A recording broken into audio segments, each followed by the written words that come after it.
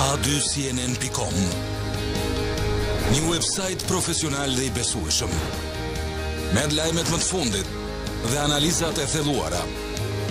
Follow, subscribe, like. A2cnn.com Një partner i besueshëm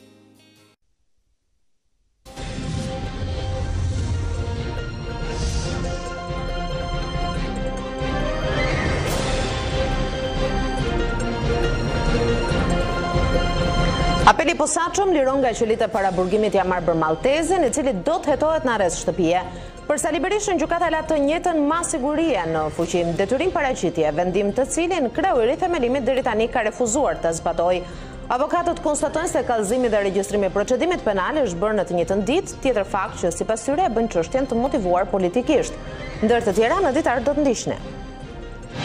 Skema e ndihmës ekonomike për shkak të vlerës së ulët monetare por edhe përjashtuese e kategorive në zonat rurale nuk po ndihmon familjet shqiptare të dalin nga varfëria. Vetëm tre për qind e popullsisë ia doli të kapërcejë skamjen gjatë vitit dy mijë e njëzet e dy.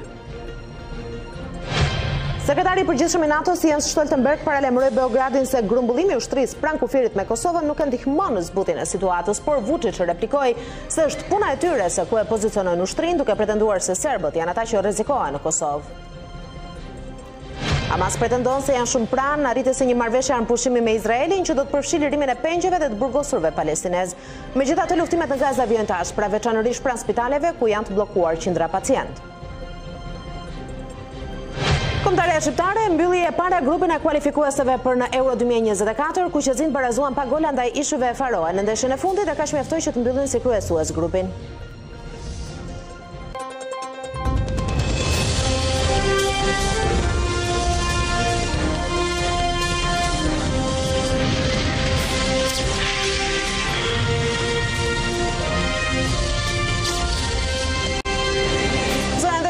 përshëndes, mirë se vini në A2 CNN, ky është ditari informativ i drekës, ndalemi më gjerësisht tek zhvillimet kryesore, për të shkuar menjëherë në selinë e Partisë Demokratike, është Kreu i Rithemelimit, zoti Sali Berisha, në këtë komunikim të radhës me median, e ndjekim për pak çaste live. Dhe unë kam, kam konstatuar që në fillim, se aty po rekrutoheshin jo mbi bazën e integritetit, prokuror mbi bazën e integritetit, por po rekrutoheshin mbi bazën e lidhjeve të krimit. Mbi bazën e lidhjeve të dokumentuara të krimit. Ju besoj e dini, E këtu s'po e them, po pikërisht për shkak të interesit publik dhe për asnjë arsye tjetër jam kam qenë i detyruar të bëhem denoncues kryesor i bandave dhe lidhjeve të tyre me politikën. E kam bërë këtë theksoj për të hapë rrugën mediave, për të hapë rrugën të gjithë të tjerëve që të mund të flasin kundra tyre. Pra, nuk ka asnjë lidhje. Tani vijmë tek tek tek çështja, po. Cilido që analizon Beqen, e vërteta e padiskutueshme ishte Ajo që ndodhi të shtunën ishte amnistia reale e dytë e Ilir Beqes nga Edi Rama dhe skapistët e tij. Pse? Pse ishte amnistia? Ha, shiko. Sepse pas katër muajsh formulohej një aktakuzë, një aktakuzë e cila për çdo njeri që ka nocionin më, më elementar të ligjit për çdo gjykatës dhe për çdo njeri tjetër është e barabartë me zero. Me zero. Për çfarë akuzohet Ilir Beqja? Pse u vunë masat? Ilir Beqja akuzohet se nuk ka diktuar konfliktin e interesit midis Rjepajt dhe Rrapajt. Të dashur miq, ligji në ligj Ilir Beqaj nuk ka asnjë detyrim të diktojë të diktojë konfliktin e interesit midis dy personave. Si e ka zgjidh ligji në Shqipëri këtë dhe në mbarë botën? Ligji këtë në Shqipëri dhe në mbarë botën e ka të zgjidhur me detyrimin e personit vetëdeklarim. Pra, Rjepaj ose Rrapaj ishte i detyruar të deklaronte se me Rjepajn kam këto këto lidhje Dhe unë me te nuk mund të aplikoj, kurse Rjepaj ishte i detyruar të deklaronte se për shkak të këtyre lidhjeve që unë kam me Rrapajn, nuk mund të jem kryetar i KVO-së, apo çfarë ishte. Këtu të jemi të hapur. Prandaj është bërë kjo, prandaj është bërë kjo amnisti e dytë, e turpshme, Dhe këtë e dinë mirë ata prokurorë që e kanë shkrojtur. Po ata janë po ata të cilët nuk e dërguan fare për hetim para 4 muajsh me urdhër të Edi Ramës. Dhe tani, pas 4 muajsh, gjetën një pseudo akuzë për ta nxjerrë të pafajshëm totalisht. Ilir Beqja, në qoftë se duam t'i themi gjërat, është përgjegjës absolut. Është zoti Berisha në këtë komunikim me mediat, ne do të rikthehemi nëse do të vijojë edhe më tutje. Ndalemi pak tek zhvillimet politike të kësaj jave, si nisi kjo javë, të gjithë e mbajmë mend atë se çfarë ndodhi një ditë më parë në parlament, në një seancë ku në mënyrë të paprecedentë, paktën në dekadën e fundit, në dhjetë vitet e fundit, buxheti kaloi dhe u votua në më pak se pesë minuta mes një situate kaotike në parlament ku një pjesë e opozitës nuk u bë pjesë dhe arsyetimin dhe argumentet e mungesës së tyre në Kuvend i mësojmë nga Arbi Agalliu, deputet i Partisë Demokratike. Mirë se vjen. Përshëndetje, faleminderit për të. Zoti Agalliu, ta nis menjëherë, pse nuk ishe dje në seancë? Shiko, kjo nuk është, nuk është, po themi një gjë e paditur, ne kemi bërë publike që në ditën e parë të bllokimit nga disa kolegë, duke arsyetuar mbi një të drejtë në fakt që i takon opozitës shqiptare sikurse janë komisionet hetimore të bllokuara tashmë nga një mazhorancë e korruptuar, e cila ka 10 vite që le të themi e ha pak nga pak këtë vend dhe është arsyeja kryesore e largimit të shqiptarëve dhe varfërimit të këtij vendi. Por, nga ana tjetër, Unë personalisht dhe Partia Demokratike distancohen në mënyrë të padiskutuar nga aktet e dhunës, nga bojkoti, pasi jo vetëm praktikat më të mira të vendeve të zhvilluara ku ne duam të shkojmë, por dhe historiku i Partisë Demokratike ka treguar që dhuna, bojkoti, Partinë Demokratike e ka çuar mbrapa dhe jo përpara.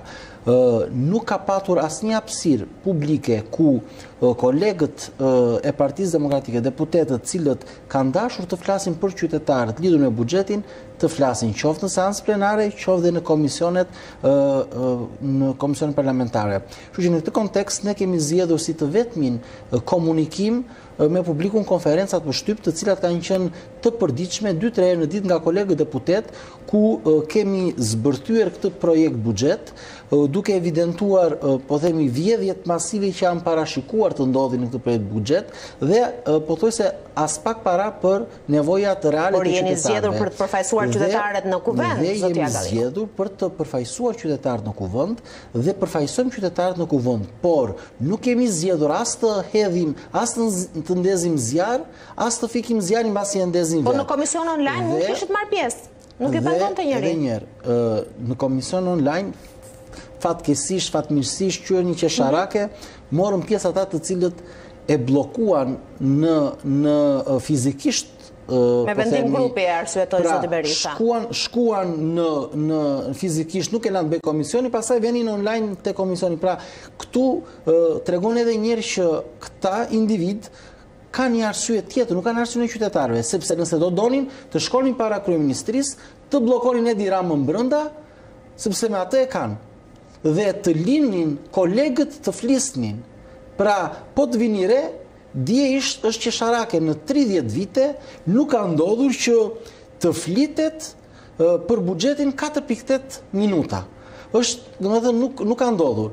Ndaj Partia Demokratike dhe deputetët e saj, të cilët kanë qëndruar dhe vijojnë të qëndrojnë në atë linjë që nisi rrugëtimi në datën 9 shtator të vitit 2021, duke nëpërmjet konferencave për shtyp Sikurse thashë, kemi zbërthyer të gjithë projektbuxhetin e shtetit, sipas fushave tona të ekspertizës, mhm. madje kemi shkuar dhe në një në një fazë tjetër, ë duke dorëzuar pranë Kuvendit të Shqipërisë disa amendamente, po, të cilat janë, ndalemi pas pak zoti Agalliu, në funksion të përmirësimit të këtij buxheti. Kjo tregon edhe një herë diferencën dhe ndryshimin midis disa kolegëve që në fund të ditës unë Kam pikëpyetje të mëdha pse e bëjnë këtë gjë, duke jo duke bllokuar, duke bllokuar ne për të folur sepse mazhoranca ka vazhduar aktivitetin e vet. Po të po. shikoni në gjithë këtë në gjithë këtë sipërmarrje të tyre, ata që kanë humbur janë deputetët e opozitës që nuk kanë folur, nuk kanë diskutuar dhe qytetarët. Mazhoranca me tym pa tym, me flakë pa flakë online apo fizikisht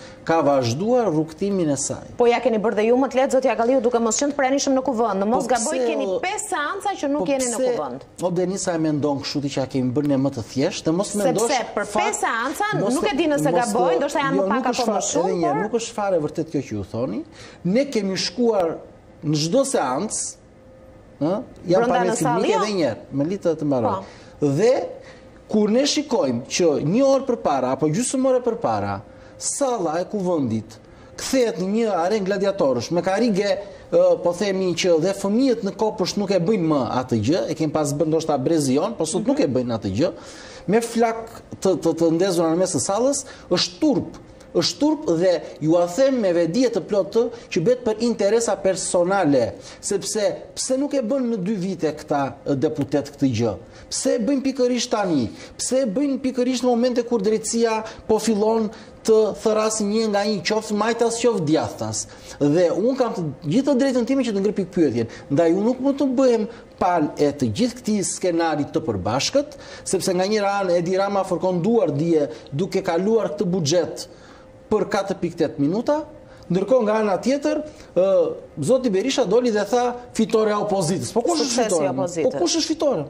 Kush është fitore? Po kjo është turp. Është turp që i ndodh Shqipërisë, është turp që i ndodh opozitës.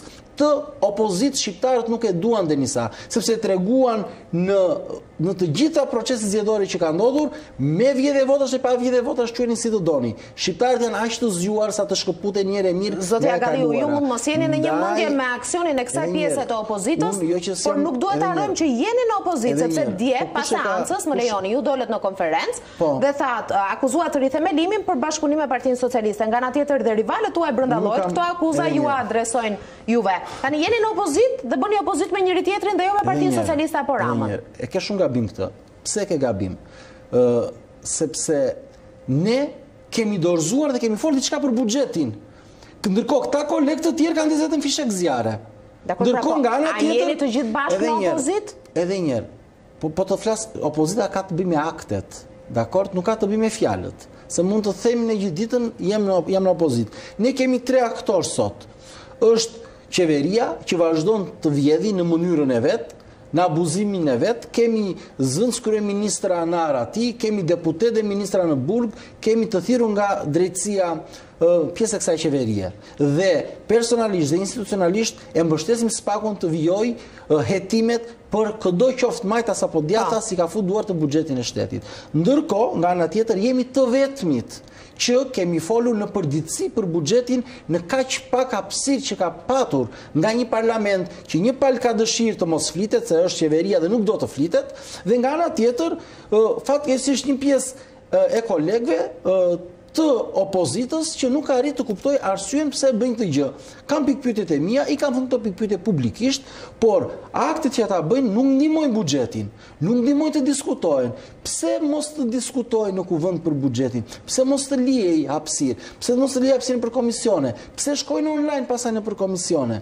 Pse të kontrolluar çfarë diskutohet? Jo, më janë janë janë publike ato, janë në faqen zyrtare të kuvendit dhe mbledhjet online. Kështu që nuk ka po, nevojë të po, bësh po, pjesë. Absolutisht. Dakord. Meqenëse jemi në ë në idenë që jeni në në opozitë të dy grupimet, pra dhe rithemelimi dhe ju. Përpos ndasive, jeni dakord me kërkesat e opozitës pra përpos aksionit dhe mënyrës se si ata kanë zgjedhur të bëjnë opozitë. Jeni dakord edhe me me kërkesën e tyre për ngritjen e komisioneve hetimore dhe pse besoj për reformën zgjedhore jo, sepse kërkohet ndryshimi i anëtarëve?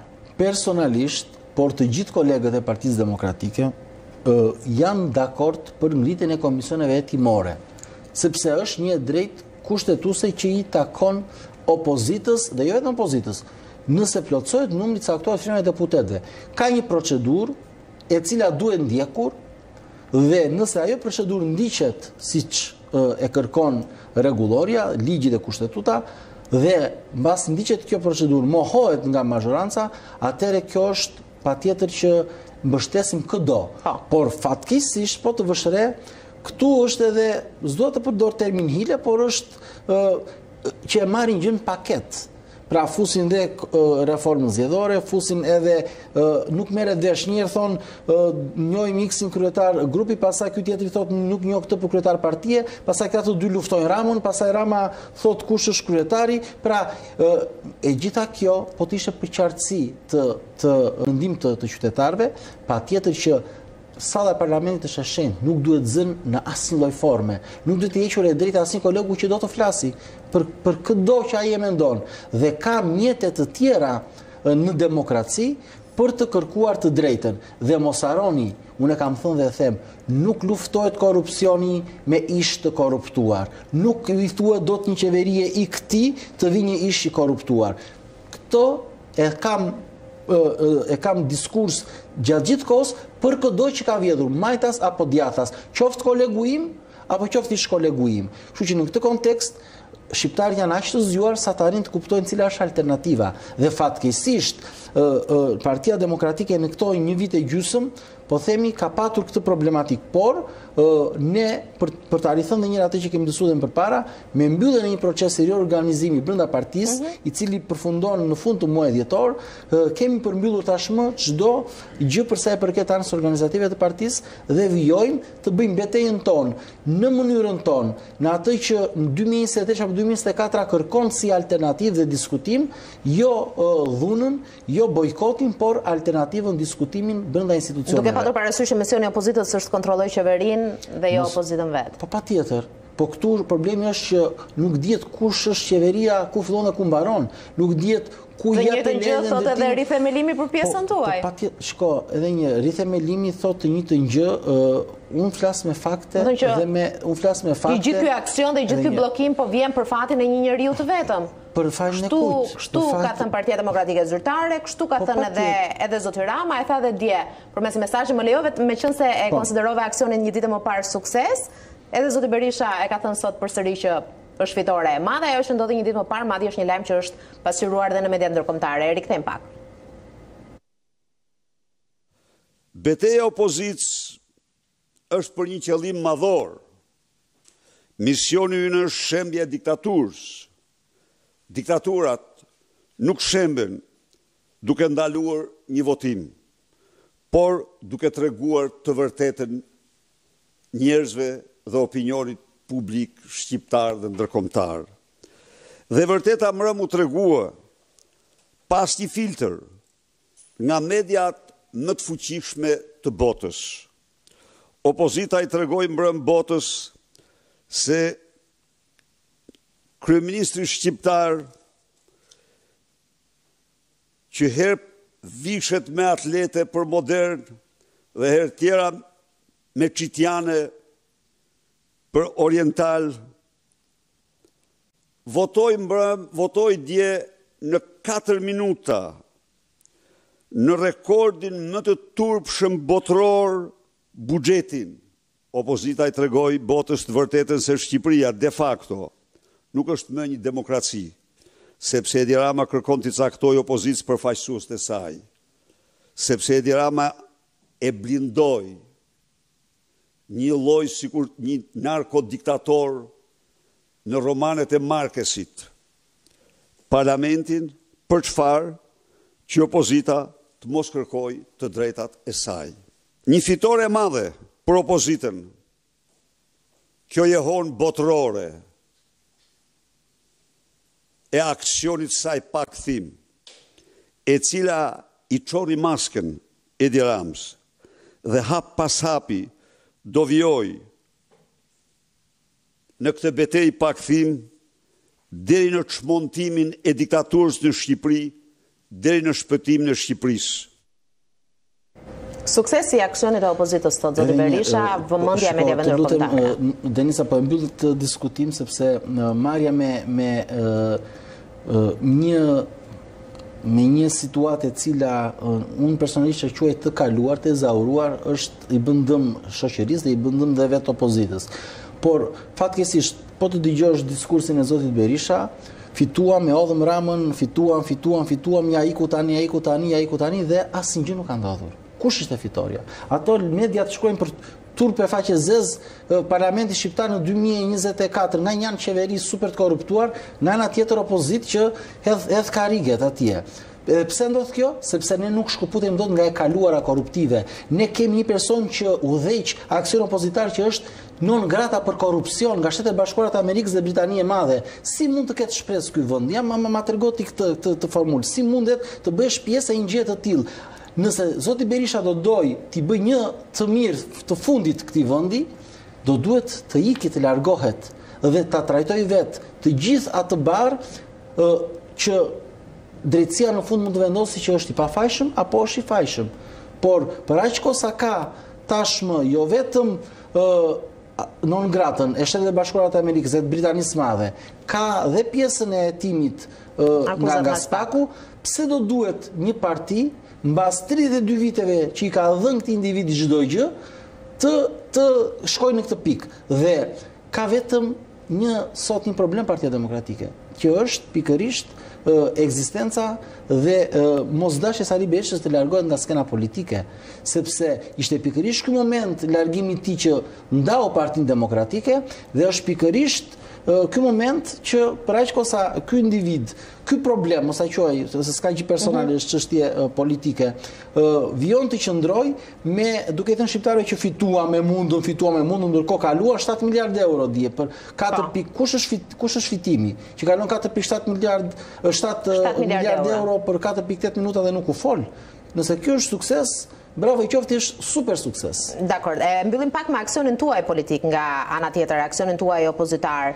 Ju e përmendët pak më parë që nuk ju kem parë në parlament apo në komisione, megjithatë keni shfrytëzuar edhe selinë për të dalë në deklarata.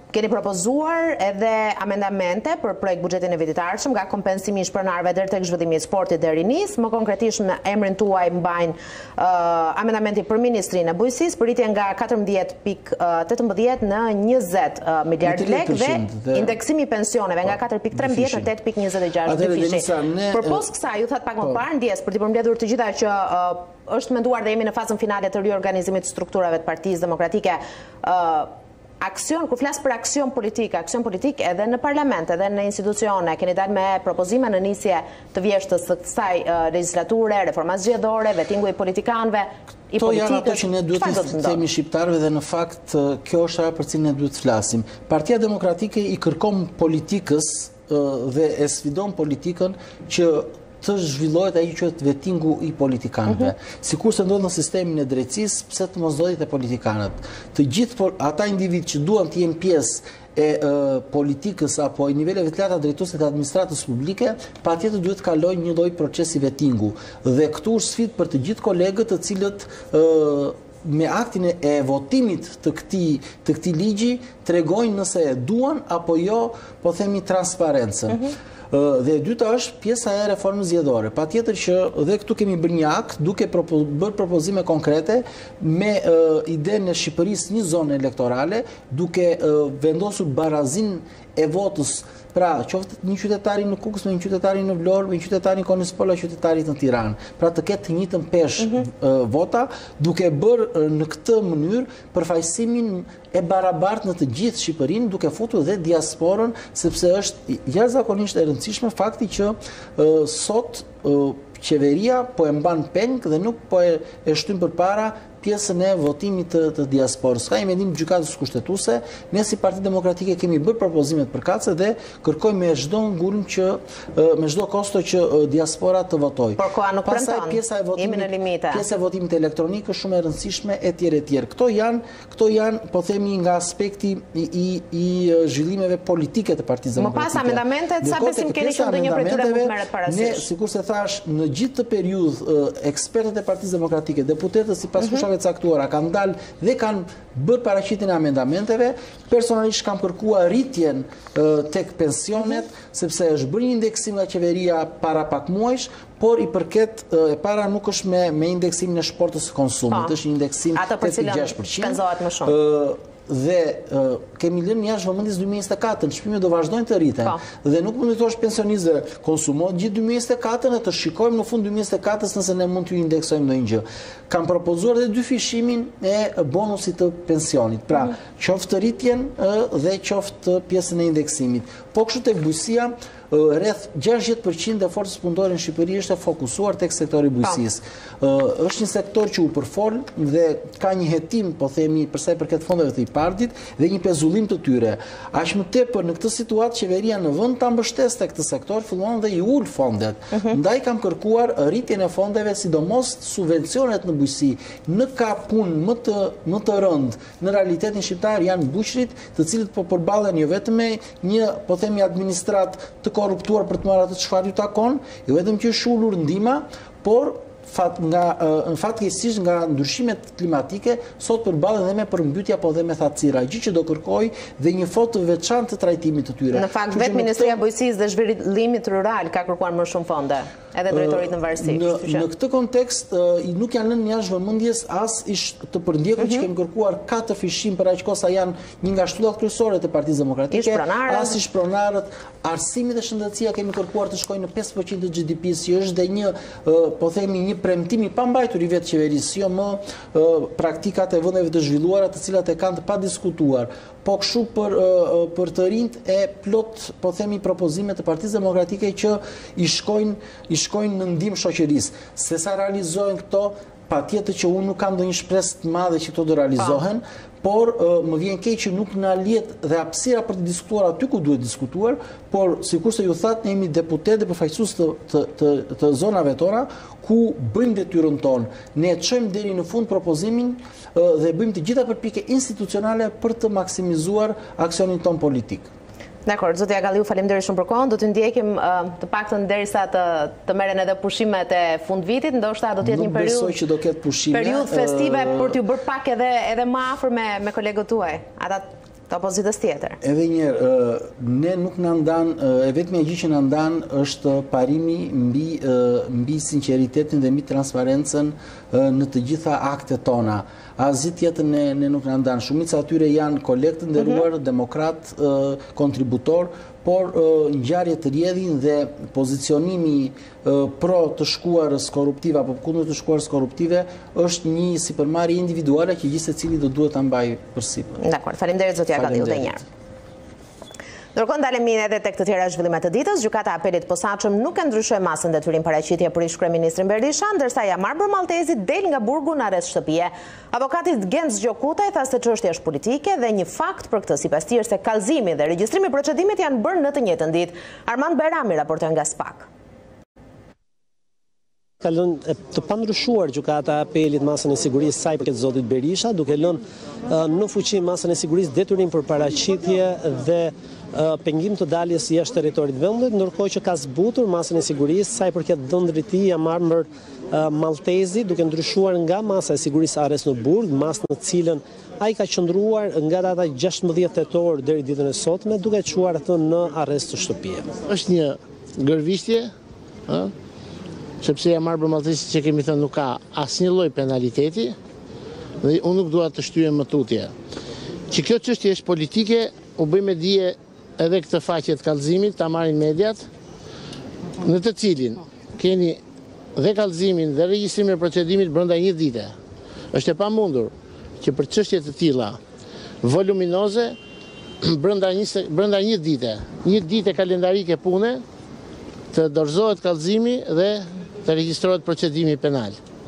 Ne do të vazhdojmë betejën ligjore. Zoti Berisha për të dytën herë radhazi zgjodhi të refuzonte gjykatën dhe të mos paraqitej.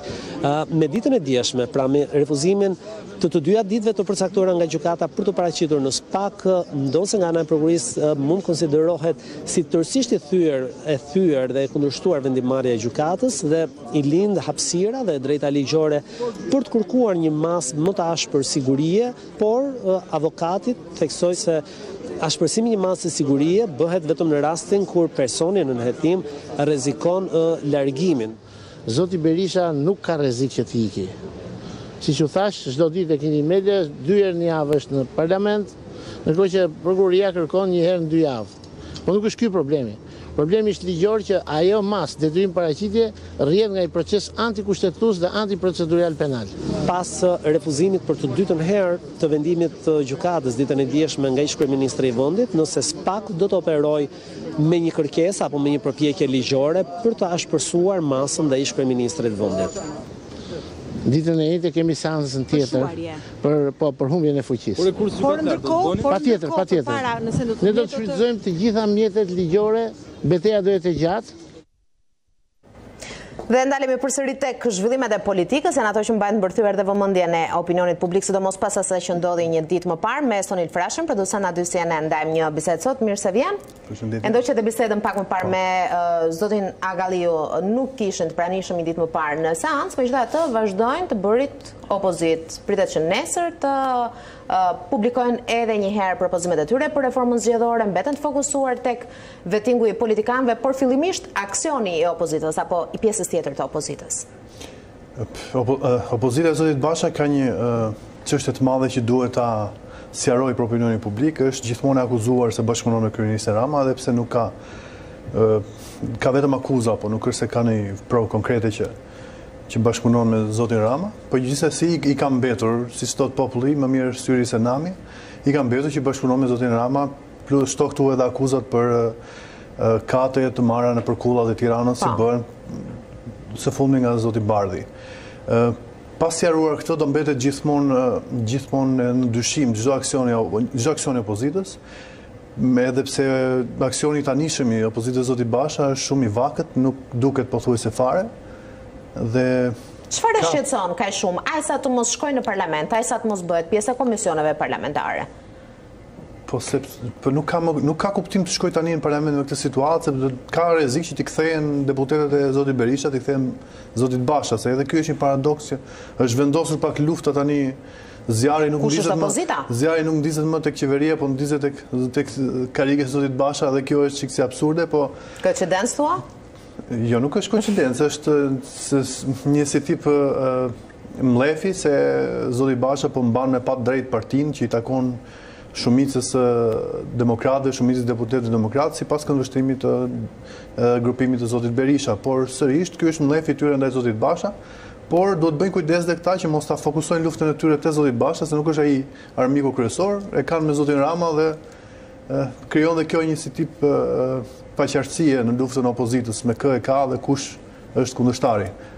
Megjithatë, një muaj aksion në Parlament, në këtë formë, siç ne e kemi parë nga ana e rithemelimit dhe e grupimit Bardhi, edhe pse më shumë nga nga rithemelimi, ato kanë qenë edhe më të përjashtuar gjatë seancave të ditëve të fundit. Çfarë tregon, çfarë po arrin Partia Demokratike, zoti Berisha, edhe zoti Agalliu e përmendi pak më parë, tentuan të bllokonin, më pas u tërhoqën nga fjala bllokim, për bojkot nuk flitet se thanë që nuk do të ndodhë më ajo që ndodhi në dy mijë e nëntëmbëdhjetë me kërkesë të Bashës për të hequr dorë nga mandati, Dje tentuan të bllokojnë seancën me tymuese. Çfarë po fiton Partia Demokratike? Se zoti Berisha dhe në fundjavë foli për qëndresën më të fuqishme të hënën në parlament. E pamë?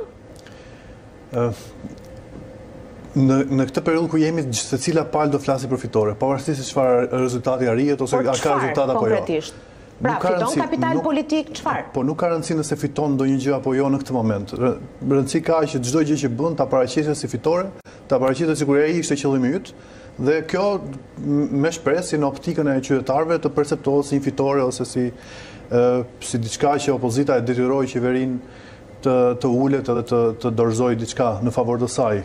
Lufta e opozitës sot është që të marrë komisionet hetimore. Unë besoj se do t'i marrë disa, në mos të gjitha do t'i marrë disa, edhe pas presionit që po bën tani, po edhe pas presionit që do vijë për qeverinë Sepse është absurde që mos t'ja japësh kur ta detyron kushtetuta që mos t'ja japësh. Presioni që vjen nga opozita, nga zoti Berisha, po nga grupi i tij apo edhe nga ndërkombëtarët që ne kemi përmendur përgjatë këtyre ditëve?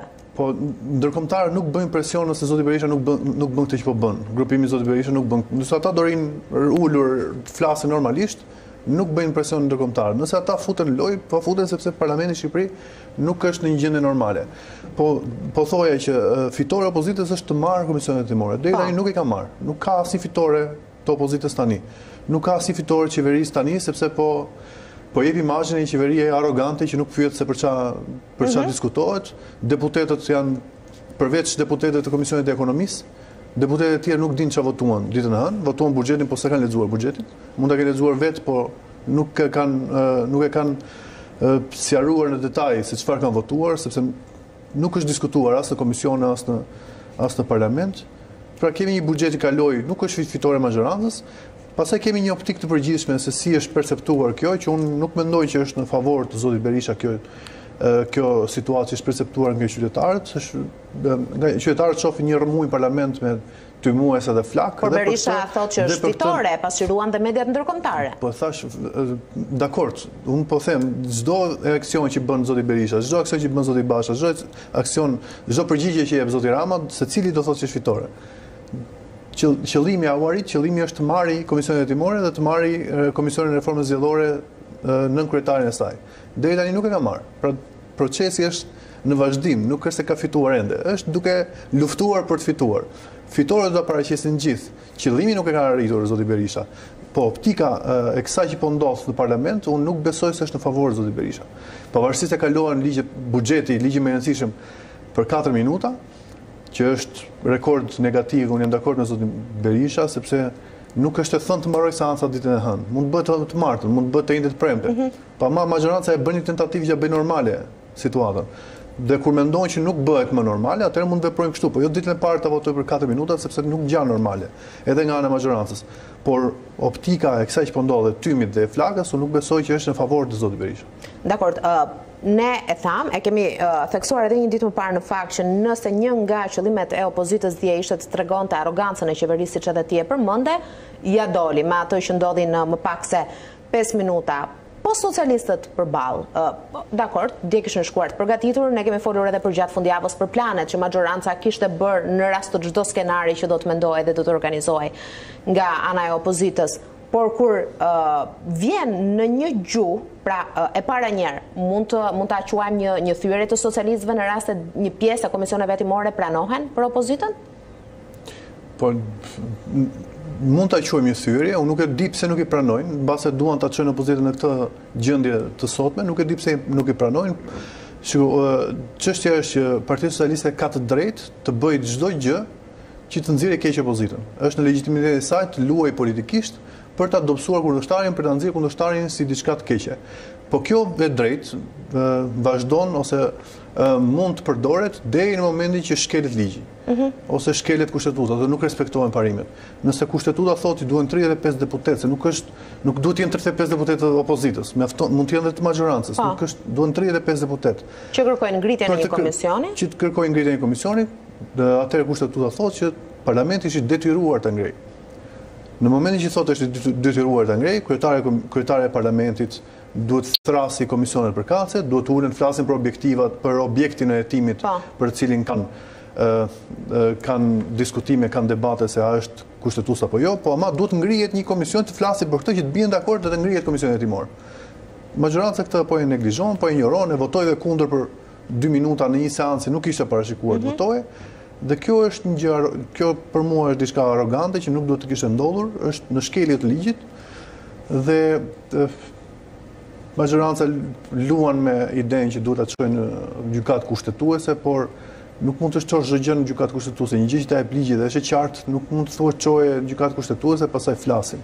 Duhet t'i kishte ngritur këto komisione. Një zë arsyetues, nuk e ka Partia Socialiste qoftë edhe zotin Rama?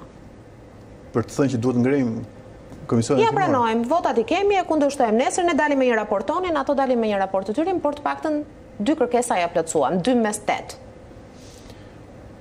Po varet pastaj nga çfarë prodhojnë ato komisione hetimore. Unë nuk po them që prodhojnë gjëra që mund të ndikojnë për të futur njerëz në burg apo se për t'i marrë në hetim, po nëse e mendojmë politikisht, ato janë, ato mund të prodhojnë shumë debat politik, mund të prodhojnë shumë argumenta në favor të opozitës për të dëmtuar njerëz të veçantë në maxhorancë ose të gjithë maxhorancën si grupim, Dhe nuk e di nëse kësaj po i trëmbet maxhoranca apo jo, ose nëse nuk do t'ia japi këtë këtë kënaqësi opozitës që të gjejë argumenta për për fakte konkrete, sepse është kthyer një problem korrupsioni në këtë qeveri, ose më saktë ë goditja nga ndaj kësaj qeverie për shkak të korrupsionit ose shpërdorimit të detyrës. Janë shumë funksionarë të qeverisë, deputetë që kanë shkuar, janë nën hetim dhe të, disa gjenden edhe në burg, Dhe në optikën e qytetarëve po krijohet një si tip po krijohet një ide që ka shumë korrupsion në qeveri, qeveria është e korruptuar dhe një komision hetimor ose shumë komisione hetimore që hetojnë pikërisht këtë gjë, nuk besoj se është në favor të mazhorancës. Unë nuk e di, po, po e them që nuk e di pse mazhoranca nuk e ngre këtë komision hetimor, nuk e nuk ka një arsye konkrete. Në fillim në fillim i refuzuan pa ndonjë justifikim... Non grata e Berishës, përmendej po, vazhdimisht. Nuk pranohet asnjë propozim... Janë më shumë se 35 deputetë, nuk ka lidhje. Mhm. Mund ta thoni këtë dhe nuk e firmos dot, po, zoti Berisha, e zëmë. Nuk ka lidhje kjo. Por në fillim e refuzoi pa ndonjë ide ose justifikim, pastaj thanë që duhet rishikuar objekti i hetimit, po të ulen të rishikojnë objektin e hetimit, po duhet të ngrejnë komisionin hetimor se nuk mban më. E kuptoj. Flasim me kohët e fundit për betejë politike? Apo më shumë po, opozitë-opozitë sesa opozitë-mazhorancë. Për betejë politike, po janë dhe komisionet hetimore, po për betejë politike më shumë po tenton të flasë zoti Basha me propozimet e veta, edhe pse janë propozimet sa për të larë gojën këto që paraqiti edhe zoti Arnaudiu. Reforma zgjedhore, vetingu, po, i politikës. I vetmi propozim konkret është reforma zgjedhore, po edhe ajo është janë mbledhur disa njerëz te partia e zotit Basha dhe kanë propozuar diçka. Nuk ka një proces se si ka arritur deri aty. Për shembull për propozimet për bujqësinë. Nga dhjetë milion t'i bëjmë katërmbëdhjetë po. milion, po pse katërmbëdhjetë dhe jo dyqind? Si kanë arritur te ajo shifër, për shembull? Ku, me kë folën? Çfarë nevojash kanë? Se çështja është që dakord që do e rrisin nga 10 në 14, po. po ku do i heqin këto para? Çfarë propozojnë, ku të hiqen këto para dhe të shkojnë aty? Mhm. Ku, çfarë procesi kanë ndjekur? Kanë folur me fermerët, kanë folur me ata që propozojnë të rritet dhe për çfarë do përdoren këto para? Se buxheti është vizion. Për shembull, qeveria thotë unë do jap 10 milionë për këta, sepse mendoj që për këtë vit dua ta çoj këtu. Po. Opozita thotë do jap 14, po pse ku do ta çojmë këtë 14? Ku do i çoj këto 4 milionë? Janë diskutime që do duhet të kishim dëgjuar dje jo, dhe sot. Jo, janë propozime që duhet të ishin konkrete me me çdo detaj. Pastaj të diskutohesh që ia, po, vlejnë këto propozime apo jo, po të thuash që të rris Edhe unë dua të rritet buxheti, por si do rritet buxheti? Po kur mungon debati, sigurisht që këto do të na shpëtojnë edhe edhe këto arsyetime, edhe nga ana e Partisë Demokratike dhe përmes amendamenteve. Po dakord, po janë duhet janë gjëra fallse janë sa për të larë gojën. E kuptoj. Propozojnë disa gjëra, por nuk përcaktojnë mënyrën si do si do rritet ajo. Edhe zoti Agalliu. Këto janë sa, më mhm, fal, këto janë si sondazhet që bëri zoti Rama me me këshillimin publik. Mhm. Që bënte pyetje, a jeni dakord që të dyfishohet ndihma ekonomike për gratë me tre fëmijë? Po, po. kush thotë jo? Të gjithë thonë po. Problemi a jeni dakord që të çojmë këto para te gratë që kanë tre fëmijë, pa po m'i thënë t'i heqim nga shëndetësia? Duke hequr, po. Po t'i heqim nga shëndetësia, do jenë dakord njerëzit? Po t'i heqim nga koncesionet, do jenë dakord. Dakord, 7 miliard euro kaluan një ditë më parë. Mirë, dhe për ta përfunduar me atë që zoti Agalliu përmendi, unë e pyeta pak më parë, duket se kur flasin në të njëjtën gjuhë me maxhorancën, në fakt, kur thonë që halli i Sali Berishës Po e shkakton gjithë rrëmujën edhe bllokimin e parlamentit edhe këtë aksion politik të pjesës tjetër të opozitës. Dhe kur them e njëjta gjuhë, i referohem edhe zotit Çuçi kur një ditë më parë nga në përfundim të seancës tha nuk do ta lëmë Shqipërinë pa buxhet sepse ne nuk jemi në krizë për karrigen e kryetarit të Partisë Demokratike. Po nuk mund të bllokojë gjë asnjë grupim i opozitës në parlament nëse nuk nuk i kanë numrat dhe nuk munden ta bllokojnë dot as fizikisht siç po e shohim. Votohet për katër minuta, skenarët janë të ndryshëm, ne kemi bërë këtu edhe një kronikë duke risjellë atë që bëri zonja Topalli në vitin dy mijë e gjashtë që e mblodhi Parlamentin në kryesinë e Kuvendit, nuk është se ka ndonjë mënyrë që ti të bllokosh votimin e ligjeve që do maxhoranca të kalojnë. Ajo që po ndodhë është që nëse kalon një ligj që ka dyshime ose ka është një ligj i pamenduar mirë, i heq mundësinë njerëzve të flasin për atë ligj, qoftë në parlament, qoftë edhe në studiot televizive, sepse vëmendjen e ka kjo situatë që po merr tani. Prandaj unë po them që kjo optika për çfarë po ndodh në parlament me tymin dhe zjarrin, nuk besoj se është në favor të zotit Berisha, se po flitet vetëm për atë dhe njerëzit thonë që po e bën zoti Berisha. Nuk është mirë të thonë që ti po bën tym dhe zjarr. Një rrugëzgjidhje për javët apo muajt në vijim sheh? Apo vetëm pranimi i një pjese të komisioneve apo kërkesave të të kësaj pjese të opozitës do të ishte zgjidhja? Unë besoj se do ketë një zgjidhje sepse duke nisë dhe nga Komisioni i Reformës Zgjedhore për të miratuar ndryshimet e kërkuar nga OSBE-ja, po edhe për të miratuar ndryshimin që kërkon Gjykata Kushtetuese për sa i përket herësit, do duhen 84 vota në për të ndryshuar kodin mhm. zgjedhor. Unë nuk mendoj që zoti Rama bashkë me zotin Basha i bëjnë dot 84 vota, nëse zoti Basha është zgjatimi i zotit Rama, siç thotë zoti Berisha.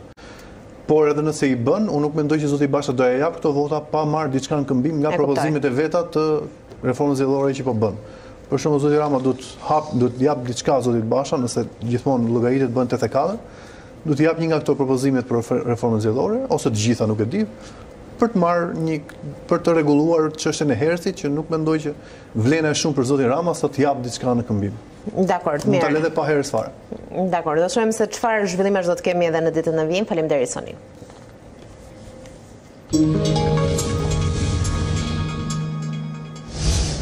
Vetëm 3% e qytetarëve ia dolën të kapërcejnë skamjen në 2022-shin si pasojë e skemave të mbrojtjes sociale. Në strategjinë e re të parashikuar për 6 vitet e ardhshme parashikohet një ndryshim në përllogaritje të skemës së ndihmës ekonomike, por edhe më shumë ndihma për shtresat në nevojë. Vlerë e ulët monetare për familjet në nevojë, përjashtuese e kategorive në zonat rurale, por dhe e papërgatitur me fonde emergjence. Për këto arsye, skema e ndihmës ekonomike nuk po ndihmon familjet shqiptare të dalin nga varfëria. Vetëm tre për qind e popullsisë ia dolën të kapërcejnë skamjen gjatë vitit dy mijë e njëzet e dy. Janë rreth tetëdhjetë për qind e mos më shumë shtresat në nevojë, kështu që. Është domosdoshmëri që të vihet dorë mbi ta. Unë kam jetuar shumë vite jashtë dhe tash kam ardhur po këtu është po ta krahasojmë me ata andej dhe dhe njeriu më i më i vobegët domethënë ka një përkrahje sociale kurse këtu njerëzit kanë dhënë shpirtin dhe s'marrin asgjë. Jemi mësuar nga gënjeshtra të tilla, të them drejtën. Edhe në draftin e parë të publikuar nga Ministria e Shëndetësisë për Mbrojtjen Sociale dy mijë e njëzet e tre dy mijë e tridhjetë, pranohet se skema e ndihmës ekonomike ka patur një ndikim të kufizuar në uljen e varfërisë. Nëntë për qind e popullsisë rezulton përfituese nga programi i ndihmës ekonomike, shtatëdhjetë për qind e së cilës e përqendruar në Elbasan, Dibër, Korçë dhe Kukës, si rajonet më të varfëra. Teksa numri i qytetarëve në nevojë mbetet i lartë, pagesën aktuale ekspertët e ekonomisë e quajnë tepër të ulët. Është parë gjithmonë si një propagandë, që për fat të keq, në vend që të shkojë në rritje dhe të ndihmojë popullsinë të çlirohet nga varfëria dhe të aftësohet për të hyrë në tregun e punës, ka bërë të kundërtën. Numri i familjeve në nevojë dhe i të varfërve është rritur dhe numri i atyre që dalin nga skema, po jo se gjejnë punë, po vetëm se janë ca kritere arbitrare, përsëri është rritur. Skema e deritanishme e përllogaritjes favorizon zonat urbane, por përjashton ato rurale ku dhe nevoja është më e lartë, ndaj pritet të ndryshojë. Por në rrafshin social, ekspertët thonë se nuk mjafton vetëm mbështetja e drejtpërdrejtë. Qytetarët kanë nevojë edhe për më shumë shërbime.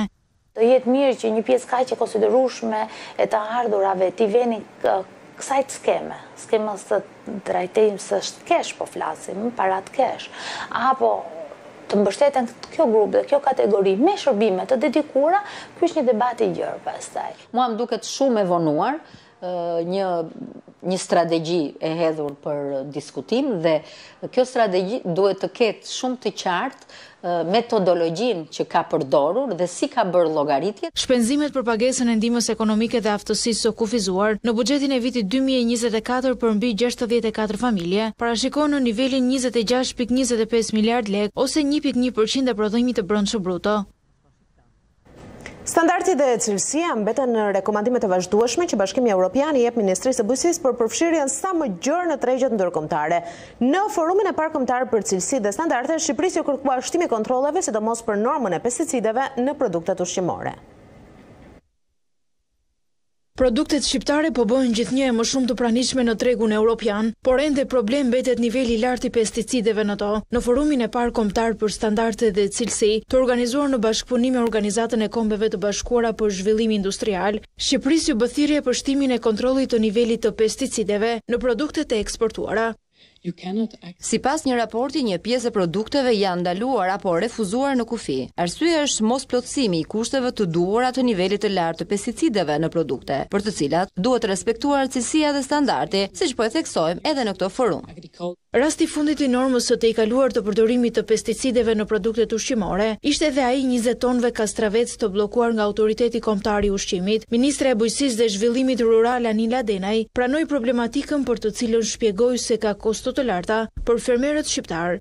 Alternativa e luftës biologjike të jetë një alternativë për gjithë sipërmarrësit, e cila jo vetëm shkon në mbështetje të produktit organik, po të jetë dhe e përballueshme nga ana e kostove. Prandaj, duke filluar nga dy mijë e njëzet e katër, TVSH-ja zerohet për të gjithë këtë proces. Por sipas vetë eksportuesve, raste të tilla ndodhin pasi fermerët vijojnë të mbeten pa mbështetjen dhe nxitjen e duhur për rritjen e cilësisë së produktit, teksa si synim kanë vetëm sasinë. Nevoja për më shumë trajnim, nevoja për më shumë kulturim sa i takon standardeve të produkteve, por vjen edhe nga mungesa e politikave nxitëse, për të punuar drejt bujqësisë organike, drejt bujqësisë jo të rrezikshme.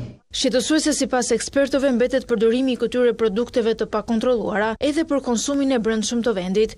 Eksporti dhe eksportuesit kanë rritur jashtëzakonisht shumë kërkesat ndaj fermerëve, iua kanë bërë të qartë atyre dhe mund t'iu kthehet produkti i gjithë, siç është, siç ka ndodhur. Dhe kjo gjë ka bërë që të kemi një përmirësim të ndjeshëm në cilësinë e produkteve.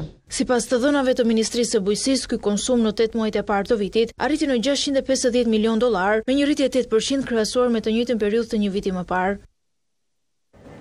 Të ndërtuara që në kohën e komunizmit dhe për dekada të tëra pa u mirëmbajtur, pritat malore në qarkun e Gjirokastrës janë jashtë funksionit të tyre. Kjo ka bërë që përrenjtë të sjellin inerte dhe të mbushin kanalet kulluese si dhe lumenjtë, duke shkaktuar përmbytje në periudhat me reshe intensive. Pritat malore vijojnë të jenë një ndër problematikat kryesore në qarkun e Gjirokastrës, sidomos gjatë periudhës së vjeshtës dhe dimrit, kur ka reshe me intensitet të lartë. Shumica e tyre janë ndërtuar në vitet e komunizmit dhe që atëherë nuk janë përforcuar apo përshtatur me ndryshimet e relievit dhe prurjeve të cilat janë shtuar. Dhe për këtë arsye Bordi i Kullimit në Gjirokastër i ka bërë apel bashkive që i kanë në administrim që të marrin masa, pasi gjendja e tyre teknike bëjnë që të mos kryejnë më efektin për të cilat janë ndërtuar. Në shumë pak prej tyre është ndërhyrë. Dhe kjo është një nga problemet e mëdha sepse e kuptohet që duke shirat me intensitet të lartë marrin me vete përveç ujërave marrin dhe aluvione. Në qoftë se nuk janë eficiente prita, detyrimisht tërë aluvione vjen brenda shtratit të lumeve që kemi Drinon, Kseras e me radhë. Dhe kjo është një nga fenomenet që ne kemi dekantim dhe mbushje të shtratit të lumeve me aluvione.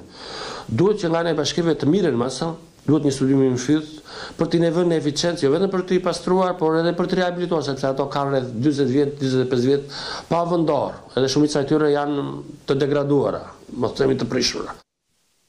E ndërsa bashkitë duhet të gjejnë fonde për të ndërhyrë, në afërsi të qytetit të Gjirokastrës, edhe pse janë siguruar fondet, nuk po ndërhyhet dot në shtratin e lumit Drino, i cili po gllabëron çdo vit toka dhe shtylla të tensionit të lartë, pasi si degë e Vjosës është park natyror dhe zonë e mbrojtur.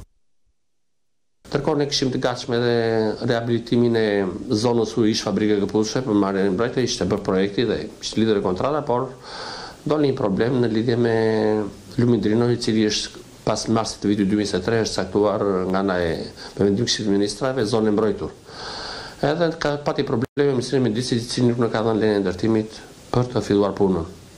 Jemi në pritje për të marrë një përgjigje pozitive se çfarë kërkojnë ata specifikisht. Erozioni dhe problemet e kanaleve kulluese jo pak herë kanë shkaktuar vërshim të ujërave duke shkaktuar përmbytje tokash dhe bllokime rrugësh në qarkun e Gjirokastrës.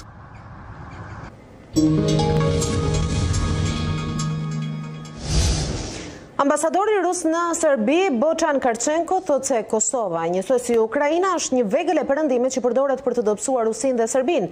Ai shton se Kosova do të shmangë formimin e asociacionit, ndërsa paralajmëron se bota është para formimit të një rendi të ri. Moska vazhdon që të heqë paralele nga konflikti i Rusisë me Ukrainën me rastin e Kosovës dhe Serbisë. Ambasadori i Putinit në Beograd, Aleksandër Boçan Karçenko, përmes një editoriali në gazetën serbe Politika, përsëriti retorikën e zakonshme të fajësimit të Perëndimit për atë që ndodhi në Ukrainë. Diplomati shton më tej se Serbia, njësoj si Rusia me marrëveshjet e Minskut, po mashtrohet nga Perëndimi, që sipas tij, ndihmon Kosovën të bllokojë krijimin e Asociacionit të komunave me shumicë serbe. Boçan Karçenko vazhdon me krahasimet, teksa thotë se synimi i Perëndimit në Ukrainë ka qenë shkaktimi i një disfate strategjike e Rusisë dhe se e njëjta strategji po përdoret edhe kundër Serbisë, që po kërcënohet me sanksione nëse nuk pranon njohjen de facto të pavarësisë së Kosovës. Rreziku i projekteve të tilla po kuptohet padyshim në Serbi, të cilin perëndimorët po presin ta dobësojnë me metodat e provuara në fund të shekullit të kaluar, duke mundësuar dhunën e radikalëve të Prishtinës kundër serbëve në komunat veriore të krahinës dhe në enklavat në jug të Ibrit. Ai thekson më tej se operacioni special ushtarak rus është krijuar për t'i dhënë fund planeve të Perëndimit, ndërsa sinjalizoi se një ndryshim i madh në botë po vjen. Bilanci global i fuqisë po ndryshon, para syve tanë po krijohet një rend ndërkombëtar më i drejtë, policentrik i bazuar në diversitetin kulturor dhe qytetërues. Ne jemi të bindur se kjo është rruga drejt mirëqenies dhe prosperitetit të të gjitha vendeve dhe popujve të botës. Prej kohësh, Rusia, përmes vetë presidentit Vladimir Putin, ka bërë thirrje për ndërtimin e një rendi të ri botëror bashkë me Kinën. Mjaftoi një deklaratë e fortë e presidentit ukrainas Volodymyr Zelensky pak ditë më parë për të bërë botën të reagojë. Rusia mund të krijojë kriza të reja në Ballkan në mënyrë që të largojë, siç Zelensky thotë, vëmendjen e botës nga lufta në Ukrainë. Ekspertët ushtarakë, ata të të drejtës ndërkombëtare në rajonin tonë të trazuar, por edhe në Bashkimin Evropian apo më larg në Shtetet e Bashkuara e shohin shqetësues paralajmërimin e presidentit Zelensky, i cili flet për një plan të gjatë të Rusisë nga Lindja e Mesme fillimisht për të kaluar tek ajo që mund të jetë shpërqendrimi i dytë, Ballkani. I rikthejmë edhe një herë deklaratat e Zelenskit, por edhe reagimet që pasuan paralajmërimin e fortë të tij në këtë analizë me producenten e zhvillimeve ndërkombëtare në A2 CNN, Rosalba Bejdo. Mirë se vjen. Mirë se ju gjeta. Rosalba, Rusia kërkon një luftë të re paralajmëron Zelenski dhe konkretisht flet për Ballkanin Perëndimor. Pse? Në fakt nuk ka qenë surprizë kjo deklaratë e Zelenskit, Denisa, është një një konstatim i cili është bërë më herët edhe nga ekspertë, analistë, por edhe liderë ndërkombëtarë që janë të shqetësuar se Rusia mund të përdorë Ballkanin pikërisht për të nxitur një luftë të re. Mhm. Qëllimi i Zelenskit në fakt në këtë deklaratë të tijën ka qenë të nxisë vëmendje dhe të kthejë vëmendje nga lufta në Ukrainë, në një kohë kur duket se e gjithë vëmendja dhe të gjithë prozhektorët janë janë drejtuar tani më nga Lindja e Mesme. Kështu që vendos të prekë ndoshta botën në një pikë që i dhemb, në një pikë që e shqetëson, në një pikë të ndjeshme siç është Ballkani Perëndimor, kushtojini vëmendje Ballkanit, më besoni, kemi informacione, thotë presidenti Zelenski, Rusia ka një plan të gjatë. Pas Lindjes së Mesme do të jetë Ballkani dhe bota dhe nëse bota nuk vepron do të ketë një shpërthim të ngjashëm. Ëm pra kërkon që të kthehet vëmendja një herë nga lufta në Ukrainë dhe më pas nga Rusia, e cila sipas tij është përgjegjëse edhe për konfliktin në Lindjen e Mesme dhe po synon tani më të nxisë një tjetër konflikt në Ballkanin Perëndimor duke vënë përballë njëri-tjetrit dy shtete të këtij rajoni. Unë përmenda pak më parë edhe reagimet që pasuan menjëherë deklaratën dhe paralajmërimin e fortë të Zelenskit, i pari që reagoi ndoshta nisur edhe nga situata më e fundit në fillim vjeshtë në veri të Kosovës, ishte kryeministri Kurti. Në fakt nuk ka pasur një reagim nga aktorët më gjerë politikë sa i përket në Ballkanin Perëndimor sa i përket deklaratës së Zelenskit.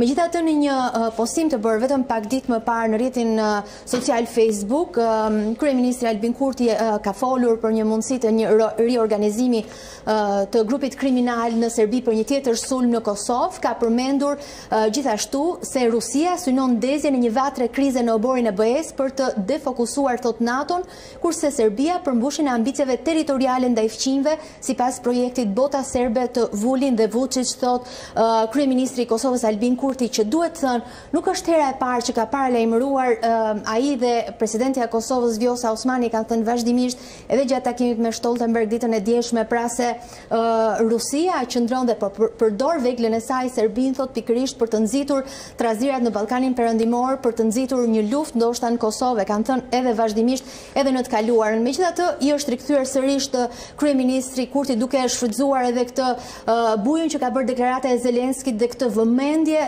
dhe shqetësim të ripërtërirë që ka nxitur pikërisht pra deklarata e tij e bërë pak ditë më herët. Dhe përballë një kërcënimi të tillë të mundshëm, të paktën siç ka paralajmëruar Zelenski, ndërkombëtarët nuk mund të rrinin indiferentë. Nuk mund të rrinë në fakt, ka qenë e pari në fakt Komisioni Europian që ka reaguar lidhur me deklaratën e Zelenskit, kemi informacione, Dhe i kemi parë këto aktivitete ruse për disa kohë, ka thënë zëdhënësi Peter Stano, një ditë pas deklaratës së Zelenskit, jemi të vetëdijshëm se çfarë po përpiqet të bëjë Rusia.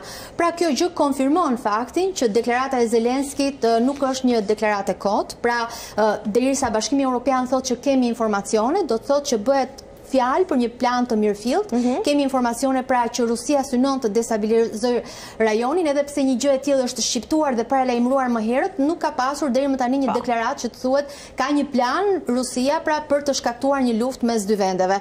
Kështu që edhe reagimi i Bashkimit Evropian vë theksin tek rëndësia e situatës dhe tek graviteti i situatës. Edhe Departamenti Amerikan i Shtetit gjithashtu ka thënë që janë në dijeni të këtyre shqetësimeve. Po punojmë, thotë me vendet e rajonit për të përmirësuar sundimin e ligjit dhe reformat që do të pakësonin mundësinë e ndikimit malinj mhm. rus. Gjithashtu edhe sekretari i përgjithshëm Jens Stoltenberg i NATO-s pra gjatë ndalesës së tij në Bosnjë dhe Hercegovinë ditën e djeshme ka thënë që jemi të shqetësuar nga retorika e ndarjes dhe po ashtu ndërhyrjet e huaja malinje përfshirë nga Rusia duke iu referuar pikërisht shqetësimeve pra lidhur me një plan të mundshëm të Rusisë për të shkaktuar një luftë në Ballkan. Dhe i rikthehemi arsyes kryesore, Rusia dhe ndikimi i saj, ndërhyrje malinje konsiderohet nga ndërkombëtarët. Çfarë motivi ka Rusia që mund të tentojë të destabilizojë dhe rajonin tonë pas njëzet e një muajsh luftë? Rusi-Ukrainë. Në fakt, Denisa, Rusia nuk e ka fshehur dhe më herët dhe nuk është sekret që ka interes në destabilizimin e situatës në rajonin e Ballkanit Perëndimor, të cilin e sheh si një terren të favorshëm gjeostrategjik, si për interesat e veta, ashtu dhe për të shtrirë ndikimin e saj. Megjithatë, disa nga arsyet kryesore janë të renditura këtu. Devijimi i vëmendjes nga lufta në Ukrainë nuk është sekret, ashtu siç bëri konflikti në Lindjen e Mesme, lufta mes Izraelit dhe Hamasit, më mirë do ta bënte një luftë e mundshme në Ballkanin Perëndimor që është edhe më afër Europës, duhet thënë dhe sigurisht që shqetëson shumë ndërkombëtarët dhe Bashkimin Europian dhe diçka e tillë i ka volitur Rusisë në rastin e luftës mes Izraelit dhe Hamasit dhe do t'i bëjë edhe më mhm. mirë në rastin e një lufte tjetër. Bllokimi i aspiratave integruese të rajonit, gjithashtu as kjo nuk është sekret që Rusia nuk e dëshiron bashkimin e vendeve të Ballkanit Perëndimor, veçanërisht atyre vendeve sllave të cilat mhm. i konsideron si pjesë të identitetit dhe historisë me të cilat ka lidhje, kështu që nuk dëshiron që të afrohen më shumë dhe me NATO-n dhe me Bashkimin Europian. Rritja e ndikimit rus në rajon, sigurisht ka interes të rrisë dominancën e vet dhe më poshtë projektimi i një statusi më të fuqishëm global për ta pozicionuar veten si fuqi edhe në rajonin e Ballkanit mhm. Perëndimor, që siç thashë ka një rëndësi të madhe gjeostrategjike, përdorimi i rajonit si levë për përfitime gjeopolitike, sigurisht duke pasur më shumë ndikim në rajon, kjo gjë do ta mundësonte dhe do ta rriste atë mundësinë pra për ta përdorur si levë politike rajonin për të arritur gjërat që mhm. dëshiron dhe për ta pozicionuar veten si një negociator, të vetmi negociator të besueshëm në krizat e rajonit është diçka që intereson Rusisë dhe mbrojtja e interesave ekonomike, sigurisht ka interesa ekonomike Rusia në rajon duke konsideruar bashkëpunimin që ka me disa prej vendeve në veçanti siç është Serbia dhe Bosnja Hercegovina. Dhe në një mënyrë apo në një tjetër është munduar që edhe përgjatë viteve të fundit ndikimin e saj ta ushtrojë. Ne kemi folur sidomos për ndikimin rus në Serbi, por a mundet realisht Rusia të ndikojë? Sigurisht që Rusia mund të ndikojë, Denisa, ky ka qenë një problem për të cilin është folur gjerësisht gjatë kohëve të fundit në vazhdën e një lufte që zhvillohet në Ukrainë, është parë pra si mundësi që Rusia e ka rritur atë levën e ndikimit në rajonin e Ballkanit Perëndimor dhe si e bën këtë. Fushatat dezinformuese, po. sigurisht është një mënyrë përmes mediave për të përhapur dezinformim, për të përhapur dhe për të bërë fushata për interesat e Serbisë përmes mediave të tilla si Sputnik ka pasur një sërë fushatash dezinformuese në këto vende të rajonit përmes aleatëve kyç siç janë presidenti i Serbisë Aleksandër mhm. Vuçiç edhe ai i Republikës Sërpska Milorad Dodik në Bosnje dhe Hercegovinë që gjithashtu ndikojnë si urë lidhëse pra për Rusinë për të depërtuar në Ballkanin Perëndimor Lidhjet ekonomike dhe kulturore që Rusia ka dhe mendon se ka me këto vende, po. si, sidomos në vendet që kanë popullsi serbe, dhe gjithashtu kisha ortodokse serbe në um, komunitetet pra ku po. jetojnë uh, ortodoksë, ka shërbyer dhe është um, diçka e, di, e, e ditur, uh, ka shërbyer pra si urë lidhëse, ka shërbyer ndoshta në disa raste dhe si vegël e e e Rusisë pra për të depërtuar në më thellë në Ballkanin Perëndimor. Ne, pra Shqipëria përfshihet në ato vende që mund të jenë të ndjeshme nga ndikimi rus? Edhe i gjithë Ballkani Perëndimor mm -hmm. Denisa mund të përfshihet, megjithatë vendet që janë më të ndjeshme nga ndikimi i Rusisë është Bosnjë-Hercegovina, Serbia dhe Mali i Zi. Në Bosnjë-Hercegovinë, siç e dimë, Situata është jo pak e tensionuar, ka përpjekje të vazhdueshme dhe të cilat janë intensifikuar gjatë kohëve të fundit për të për një shkëputje të mundshme të mhm. Republikës Srpska e cila ka shprehur vullnetin dhe dëshirën për t'iu bashkuar Serbisë, për të krijuar pra atë Serbinë e Madhe, ka mendohet që Rusia ndikon këtu përmes aleatit të vet Dodik, pra të cilin e përdor edhe ai si vegël për mhm. të depërtuar agjendën ruse në thellësi të Bosnjë Hercegovinës dhe mendohet se mund të jetë dhe mund të qëndrojë edhe pas përpjekjeve për të destabilizuar vendin ashtu siç ka ndodhur në Kosovë mhm. për një tjetër sulm si ai i Banjskës për të organizuar grupe kriminale atje që mbështesin Rusinë, megjithatë duhet thënë që ka edhe organizata që punojnë në emër të Rusisë atje, media gjithashtu ndikon, por ajo që ndikon janë edhe lidhjet e forta ekonomike që ka veçanërisht Republika Srpska me Rusinë, duke konsideruar bashkëpunimin për energjinë edhe ndihmat ushtarake. Serbia gjithashtu është një tjetër vend i brishtë ndaj ndikimit të Rusisë. Duhet thënë që edhe vetë popullsia serbe përveç aktorit politik kryesor siç është Aleksandar Vuçiç që ka një lidhje të ngushtë edhe konsiderohet si aleati i tij në në Ballkanin Perëndimor, aleati kryesor, edhe vetë popullsia serbe ka një lloj një lloj pëlqimi dhe një lloj afiniteti pra për Rusinë, në kështu që edhe lidhjet e forta ekonomike që Serbia ka, pasi në këtë vend janë edhe më të fortat, mhm.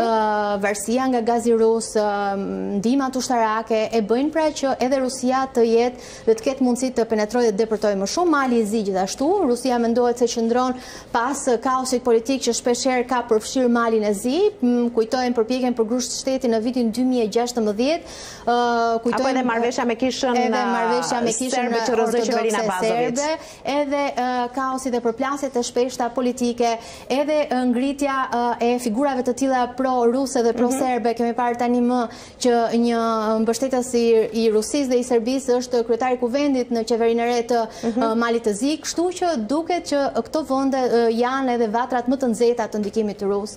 në Ballkanin Perëndimor. Një paralajmërim jo pa vend dhe jo pa prova i Zelenskit, megjithatë mbetet për t'u parë se si do të reagojnë edhe më tej, sidomos edhe zoti Stoltenberg i cili vijon vizitën e tij. Faleminderit Rosalba. Faleminderit Denisa. Dhe Stoltenberg i rikthehemi e vijon vizitën e tij në rajonin tonë. Sekretari i Përgjithshëm i NATO-s ka paralajmëruar Beogradin se grumbullimi i ushtrisë pranë kufirit me Kosovën nuk ndihmon në zbutjen e tensioneve. Por Vuçiç replikoi se është puna e tyre se ku e pozicionojnë ushtrinë, ndërsa tha se serbët janë të vetmit që rrezikohen në Kosovë. Grumbullimi i forcave të ushtrisë serbe në afërsi të kufirit me Kosovën nuk ndihmon në qetësimin e situatës së tensionuar mes dy vendeve.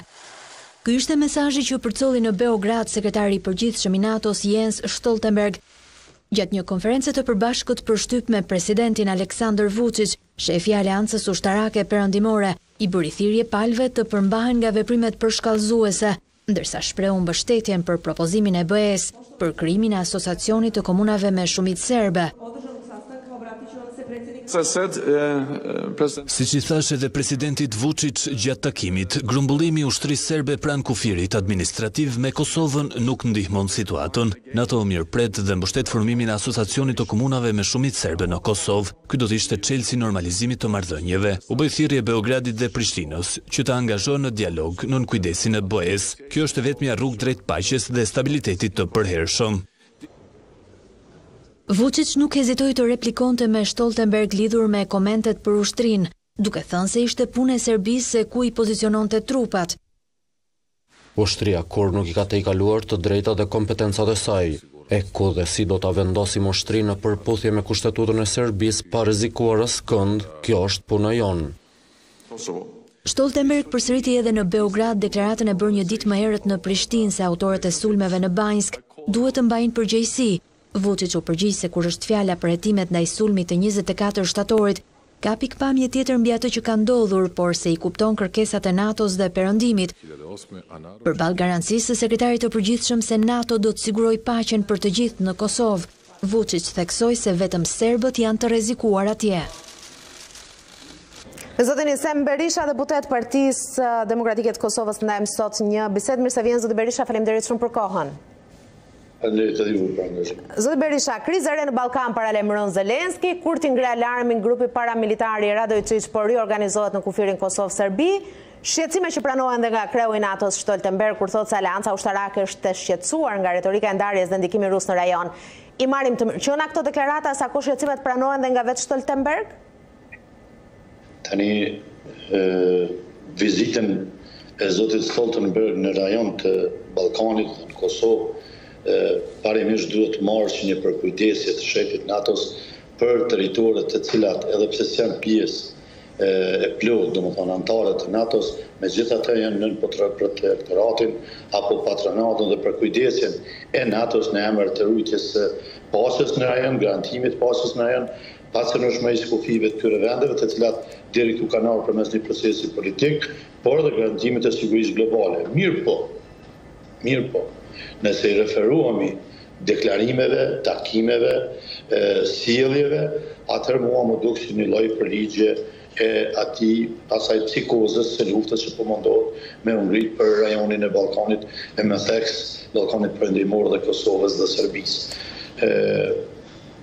Unë mendoj se më shumë se sa të theksohet gjoja një tendencë për të pasur konflikt në rajonin tonë, është mirë që mësimet e nxjerrura që i morën nga sulmi i Rusisë në Ukrainë, të mos lejojnë t'ju përsëriten ende pa ndërmarrë veprime parandaluese dhe prevenuese të një situate të tillë. Çfarë po dua të them?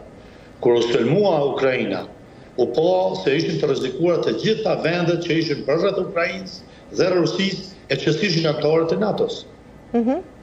Dhe tani, kur Serbia si një satelit i Rusisë, besa edhe Ukraina në bazë qëndrimeve, kjo, më falni, Hungaria në bazë qëndrimeve që po i mban lideri i tyre atje, faktikisht, na kanë sjellë në situatë që duhet me e mendu një Version të zvogëluar të asaj çfarë ndodhi në Ukrainë, pra që nëse nxitet Serbia, janë të rrezikuara të gjitha vendet që nuk janë anëtare të plota të NATO-s në rajon, përfshi këtu Kosovën etj. Shtoj kësaj konspiracionet, po i quaj kushtimisht sepse unë nuk e shoh reale sulmin e Serbisë ndaj Kosovës, Kurrë Serbia s'do ta heqë pretendimin e vet ndaj Kosovës dhe edhe po të jemi të integruar tërësisht në NATO dhe në BE, kjo prapë ka me vazhdu me logjikën... Pra nuk është gjë e re. Po, nuk është diçka surprizë. Por, kjo duhet neve na shqetësojë pse NATO, pse Kombet e Bashkuara, pse Shtetet e Bashkuara të Amerikës, pse Bashkimi Evropian po lejojnë përsëritjen e një. të vendeve përreth Rusisë, siç ishin Suedia dhe Finlanda, që u desh të vrapohej pastaj me procedura të ngutshme e nuk po arrin t'i bëjë pjesë NATO-s e t'i fusin sistem kolektiv mbrojtjes. Pse nuk po veprohet tani me kohë, kur veç e kanë një shembull të dështimit vet? Dhe unë e quaj këtë dështim, jo vetëm të dialogut nga Bashkimi Evropian dhe akterët e përfshirë, por edhe të NATO-s në rajon, sepse po t'i referohemi, Marrëveshjes së vitit njëzet e një qershor nëntëdhjetë e nëntë, kur ishte gjenerali Jackson drejtues i trupave, aty thuhet, Duhet të krijohet ushtria e Kosovës. Sot, kur po flasim dhe jemi në presionin e një paralajmërimi, një psikoze lufte, ushtria e Kosovës është larguar nga Defender Europe njëzet e tre. Ushtria e Kosovës është nën sanksione dhe nuk mbështetet financiarisht për t'i zhvilluar kapacitetet e saj. Kosova është një vend me një buxhet simbolik dhe është në proces tranzicioni pothuaj gjitha segmentet, e i fundit është forca. Ne kemi një Status of Forces Agreement të plot me Ajovën dhe SHBA-të dhe nëse rajoni qenka në presionin e luftës dhe mundësi e pretendime ruse për ta zgjeruar konfliktin t'ia lehtësojë vetes, Atëherë, çfarë po bëhet me shtetet e rajonit që t'i stabilizojnë, t'i bëjnë anëtare të NATO-s, BE-së dhe t'i fusin nën mbrojtjen kolektive? Zoti Berisha, më lejo të ndalem pak tek ajo që thatë pak më parë që nuk është asgjë e re kërcënimi, prania e ushtrisë serbe edhe në kufi me Kosovën. Vuçiç ia tha qartë edhe zotit Stoltenberg gjatë takimit sot. E dimë ne ku e lëmë ushtrinë dhe në fakt janë serbët ata që duhet të ndihen dhe ndihen të kërcënuar në Kosovë. Pra, më qartë se kaq? Po, shifre, mirë, kjo deklaratë e Vuçiqit... Me thënë, pra ta zhveshim nga, nga konotacioni politik, ndalemi tek po, prania reale e tyre në kufi me Kosovën.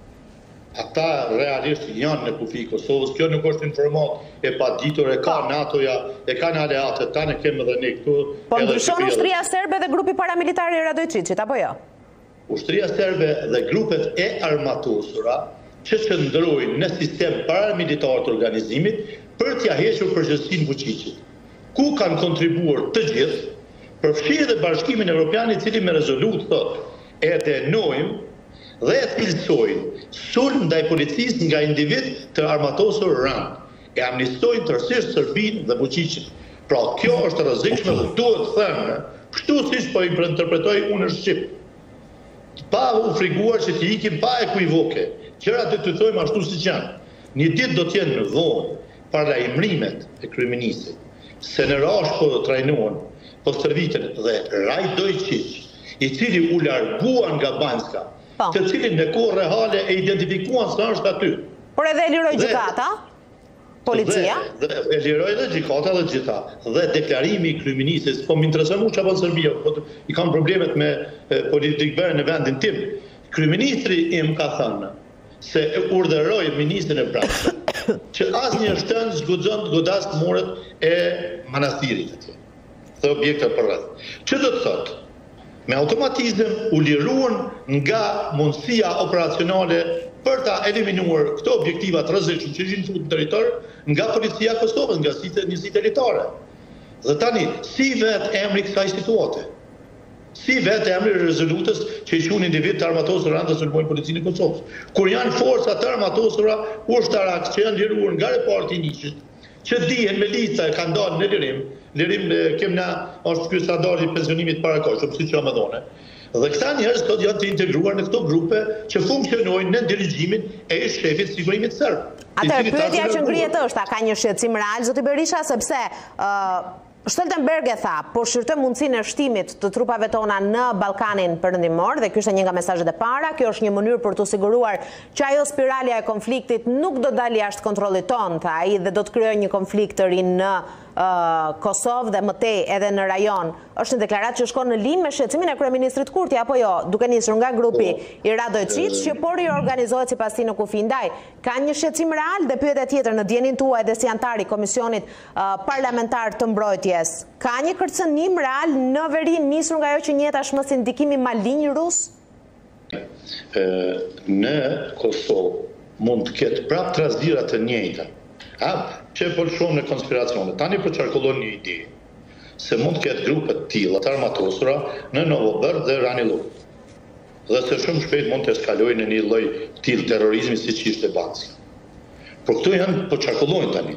Ka një tjetër që thotë, po planifikohet një luftë shqiptaro-serbe, duke përfshirë shqiptarë të pjesës së Maqedonisë, trevave shqiptare, Kosovën, Sanxhakun dhe boshnjakët e Bosnës, të cilët do të hapnin një front me Serbinë, bile për t'i dhënë edhe konotacion lufte edhe fetare, a, duke i Pas parasysh religjionin që dominon këtu, që i përmenda këto treva. Të gjitha këto janë në skemë. Unë e kam dëgjuar kancelarin gjerman kur tha se KFOR-i duhet të jetë në pozicion pas njëzet e katër shtatorit, pas Banjskës. Pra, KFOR-i e ka mandatin me rezolutë të Këshillit të Sigurimit të Kombeve të Bashkuara dhe çdo cenim i integritetit territorial, vijës kufitare, sigurisë së brendshme, mban përgjegjësi KFOR-i dhe Këshilli i Sigurimit. Ata e kanë mandat atë. Qeveria jonë këtu duhet të insistojë. E, këto paralajmërimet, e, psikoza e kësaj lufte, ky farë qëndrimi i Vuçiqit në raport me NATO-n, i cili po harron se në nëntëdhjetë e nëntën ka qenë zëdhënës, zëdhënës i kriminelit Millosheviq dhe regjimit të tij, kur NATO-ja ka goditur dhe ka tronditur Serbinë dhe e ka rrënuar regjimin e Millosheviqit. Ky është pasardhës i tij. Ky është më i rrezikshëm se ata. për shkak të pedigresë së tij. Dhe, unë besoj se kjo thjesht është në suazat e konsumit ditor politik dhe retorikës sepse i duhet me e ngrit nacionalizmin serb dhe me i marrë votat skenaristëve të dështimit të shtetit të Kosovës dhe procesit politik, strukturave të majta që prodhojnë të tilla në botë, fatkeqësisht që shtrihen kudo, edhe në zyrën e presidentit amerikan, e, që sot po trumbetojnë të tilla skenare, të tilla rirenditje të rendit botëror ku ta di unë se kush do të dominojë mbi çka për të krijuar një psikozë padurueshmërie e pasigurie te qytetarët unë mendoj se nato e ka radhën tani t'u përgjigjet shtetet e bashkuara në veçanti a e dini pse guxon me pas të tilla opinione se gjoja rusia po don me shtri ndikimin dhe protagonizmin e vet në ballkan serbia me dal dhe me i bo një deklaratë të tillë në raport me naton sepse fatkeqësisht E, tani në shtëpinë e bardhë, po udhëheq një përse, një person. Unë ndjehem krenar me, me shtëpinë e bardhë. Unë jam, unë ndjehem krenar me Amerikën. Unë jam ndier i fyer me videoincizimet që po shoh çdo ditë e më shumë nëpër rrjetet sociale të sjelljeve të presidentit, i cili sipas të gjitha parashikimeve ka një demencë, e, sëmundje mentale etj. Po. Apo kupton? Ma bëni lidhjen tani me, me luftën? Dhe shtetet e bashkuara me të rinj duhet ta kthejnë Kushtetutën e Amerikës dhe ligjet e Amerikës dhe të udhëheqin me Amerikën dhe me botën. Kanë përgjegjësi për mbrojtjen e sigurisë globale, garantimin e saj kudo nëpër botë, përfshi edhe Kosovën. Por nëse ne rrezikohemi nga një luftë e re në Ballkan, zoti Berisha, sa të papërgatitur do ishim, sepse deri para pak çastesh folëm për ndikimin rus, sidomos kur flasim për Bosnjën, Serbinë dhe për Malin e Zi. Praktikisht janë tre nga gjashtë vende të Ballkanit. Po, ndëgjo, Rusia nuk është e pamundshme që ta shtrijë, domethënë të nxitë konflikte të tjera nëpër vende të ndryshme të botës. Por, jo është jashtë çdo logjike që Rusia të djegë satelitin e saj, siç është Serbia apo Hungaria, duke i futur në luftë. Mua ma merr mendja se Rusia këtë do ta bënte, por që këta kanë një shprehje, unë po e them në sllavisht, në serb, në sve ili ništa, Në gjithçka ose hiç. Vetëm kur do ta humbte edhe Bjellorusinë, atëherë do ta fuste edhe Serbinë në luftë, sepse ajo Serbinë e ka satelit të rajonit, e ka satelit që e përdor për interesa të veta. Dhe eliminimi i saj, futja e saj në luftë është hendikepim i influencës së saj në Ballkan, sepse atëherë Serbia është rrethuar me shtetet e NATO-s rreth e rreth. Serbia e din fuqinë e NATO-s. Edhe është irreale, është e pandershme, Nga kryeministri i Kosovës të bëjë thirrje të tilla dhe të parashikojë të tilla sulme e rreziqe ndaj në Kosovë, të cilat absolutisht mund të eskalojnë vetëm në të tilla aks aksione siç ishte ai i Banjskës. Dakord, shpresojmë, shpresojmë të mos e kemi një të dytë të tillë. Por, shpres, por e them kështu me përgjegjësi, Serbia nuk e ka synim veriun. Serbia nëse vendos me sulmu në Kosovë, e ka synim tërë Kosovën. Po çka jau merr mendja po supozoj hyn me e marr veriun dhe ja tani i mori disa manastire atje ku e ka krye krye atë si i thojnë? Qendrën, Mitrovicën. Kishën kryesore, siç e ka Prizrenin ose Pejë. Mitrovicën e Veriut. Po s'mund ta bëjnë Mitrovicën e Veriut, se e kanë Prizren. Pra, çka do ta marrë ky kishat në veri e do ta lejë Prizrenin shqiptarëve? Patrikanin e Pejës shqiptarëve, Kosovës, e Manastirin e Deçanit. Pra, këto janë aq fiktive këto thirrje, sa që kryeministrit po m'duket po i shërbejnë për propagandë, për ta mbuluar dështimin në procesin politik, ekonomik, social, edhe marrëveshjet e dëmshme, edhe tradhtinë që po i bëhet integritetit territorial dhe sovranitetit politik të vendit me statutin e fundit që po qarkullon. Pra, autonominë territoriale serbe, e cila nuk koncentrohet vetëm në katër komuna, Po edhe enklavat serbe dhe ato që janë nëpër brendi të Kosovës e që do ta bënin hartën e Kosovës duket si një lëkurë leopardi. Këto janë arsyet pse edhe Vuçiqit po i duhen për zgjedhje edhe ky zotriu jonë që duket me ba se e nisëm asociacionin unë besoj se ndërlidhen shumë mes veti me zgjedhjet në SHBA për shkaqe ideologjike të mbështetjes. Dakord. Shohim se çfarë do të pasojë pas këtij qëndrimi të zotit Stoltenberg për tre ditë me radhë në këtë Ballkanin tonë të trazuar, mjaftueshëm dhe pa nevojën e një lufte apo konflikti të ri. Faleminderit zoti Berisha, me siguri të tjera biseda do t'i ndajmë edhe në vijim bashkë për këtë çështje dhe jo vetëm. Faleminderit edhe juve për angazhimin, për mundësinë. Forcat e mbrojtjes izraelite prej ditësh kanë bërë të ditur se kanë arritur të vënë nën kontroll perëndimin e qytetit të Gazës. Thonë se e kanë pastruar zonën nga çdo operativ dhe zotërojnë tashmë dhe asetet e militantëve të Hamas. Thonë po ashtu ushtria izraelite se kontrollon qiellin mbi Rripin e Gazës, nga ku bombardon nga ajri çdo ndërtesë e godinë që e konsideron target legjitim e që ka shërbyer si bazë për aktivitetet terroriste të Hamas. Nga toka, përmes tankeve të blinduara, forcat izraelite po zhvendosen çdo ditë e më në brendësi të Gazës. Dhe beteja tashmë ka marrë një tjetër drejtim, në nëntokën e qytetit, atje ku kanë zbuluar ditë pas dite rrjetin e veprimit të Hamas në tunelet nëntokësore që shërbejnë ose si baza operacionale, ose si laboratorë të krijimit të armatimeve, siç ishte edhe rasti më i fundit. Për këto do të flasim në Ditar me producentin Eno Luarasi. Eno, fokusi i ushtrisë izraelite ditët e fundit duket se ka qenë nëntoka e Gazës, unë e përmenda aty ku mendohet që janë edhe baza e grupit militant të Hamas dhe janë vendosur kryesisht nën infrastrukturë kritike. Po, Denisa, që në fillim të mësymjes që Izraeli filloi, dolën në pah disa vendstrehime, mhm. tunele të nëndheshme, të cilat i shërbenin si qendra komande, baza furnizimi, për të mbajtjen e municioneve mhm. dhe ushqimeve, por edhe tunele që lidheshin me njëra tjetrën, një rrjet i gjerë tunelesh që lidhej me njëri tjetrin. Në shumë raste këto baza ose tunele mm -hmm. ishin poshtë shkollave, spitaleve, xhamive dhe çerdheve. Dhe uh, ushtria izraelite nuk është kursyer edhe për t'i uh, sulmuar apo për t'i bombarduar nga ajri edhe këtë infrastrukturë uh, kritike. Shohim pak edhe në gra, përmes grafikut të dytë janë të dhëna të cilat edhe përditësohen herë pas here, megjithatë janë të shkatërruara. Ajo që ne shohim këtu janë të shkatërruara.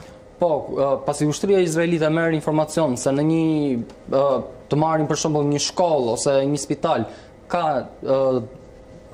qëndres të militantëve të Hamasit, ata bëjnë direkt një bombardim, mund të qëllojnë me dron, me helikopter, me avion, me artileri të rëndë, si gjithmonë, ata që e pësojnë janë civilët, pasi aty ka dhe shumë civilë. Por në të gjitha rastet, si, gjithmonë sipas Izraelit, sipas IDF-së, Janë gjetur baza të tilla të Hamasit. Dakord, njëqind shkolla janë shkatërruar nga njëqind e tetëdhjetë e tre të tilla në Gaza, njëzet e një spitale nga tridhjetë e pesë të tillë, xhami, kisha, godina banimi apo edhe shtëpi edhe private të dëmtuara mbi pesë mijë e treqind. Megjithatë, përveç tuneleve nëntokësore që ne e kemi theksuar që shërbejnë edhe si baza, Më i fundit i raportuar nga ushtria izraelite ka qenë tuneli i zbuluar së fundmi që shërbente si laborator për prodhimin e armëve. Po, siç mund ta shikojmë edhe në pamje, këto janë pamjet ku forcat izraelite godasin vende ose pozicione të Hamasit, Këto janë goditje që kryhen kryesisht me... Që ata besojnë që shërbejnë si po, baza? Po, këto janë uh, goditje që bëhen kryesisht me dron, po. ose edhe me aviacion, por më së shumti janë goditje me dron. Mhm. Uh, në laboratorin e zbuluar së fundmi, ishte një punishte, e cila kjo është dhe hyrja. Në një xhamie. Po, kjo ishte dhe hyrja. Uh, ishte një punishte ku prodhoheshin armatime uh, të ndryshme, si mina për këmbësorinë, eksplozivë të tjerë, mhm. dronë, pasi dimë që vetë Izraeli, vetë Hamasi, po, një pjesë të tyre janë, një pjesë e tyre janë armatime të rënda, janë me prejardhje sovjetike kryesisht, mhm. por ka dhe armatime që vetë Hamasi i prodhon, siç e kemi thënë dhe më herët, një pjesë e raketave që ata kanë përdorur në sulmin e parë të shtatë tetorit, kanë qënë raketa të prodhuara kryesisht nga vetë Hamasi në kushte Mhm, artizanale, po, artizanale po. që bëhen vetë nga Hamasi, ndërsa një pjesë e raketave kanë qenë sigurisht të prodhuara nga Irani dhe vende të tjera që janë të gjitha armë që janë përdorur përgjatë këtyre kohëve? Po, edhe në luftime? Janë të gjitha armë që janë përdorur gjatë këtyre kohëve të luftimeve mes forcave izraelite dhe Hamasit. Siç mund ta shikojmë, këto janë tunelet mhm. ku forcat e Hamasit qëndrojnë, militantët e Hamasit qëndrojnë, futen, dhe për të dalë më pas për të goditur forcat e Izraelit, pasi aktualisht është duke u zhvilluar një luftë urbane, po. pasi është në qendra të banuara. Dakord, Izraeli mundohet të shtyhet metër më metër çdo ditë më shumë për të zbuluar edhe bazën. Ata kundërpërgjigjen edhe nga nëntoka sepse qytetin e njohin uh, shumë më mirë.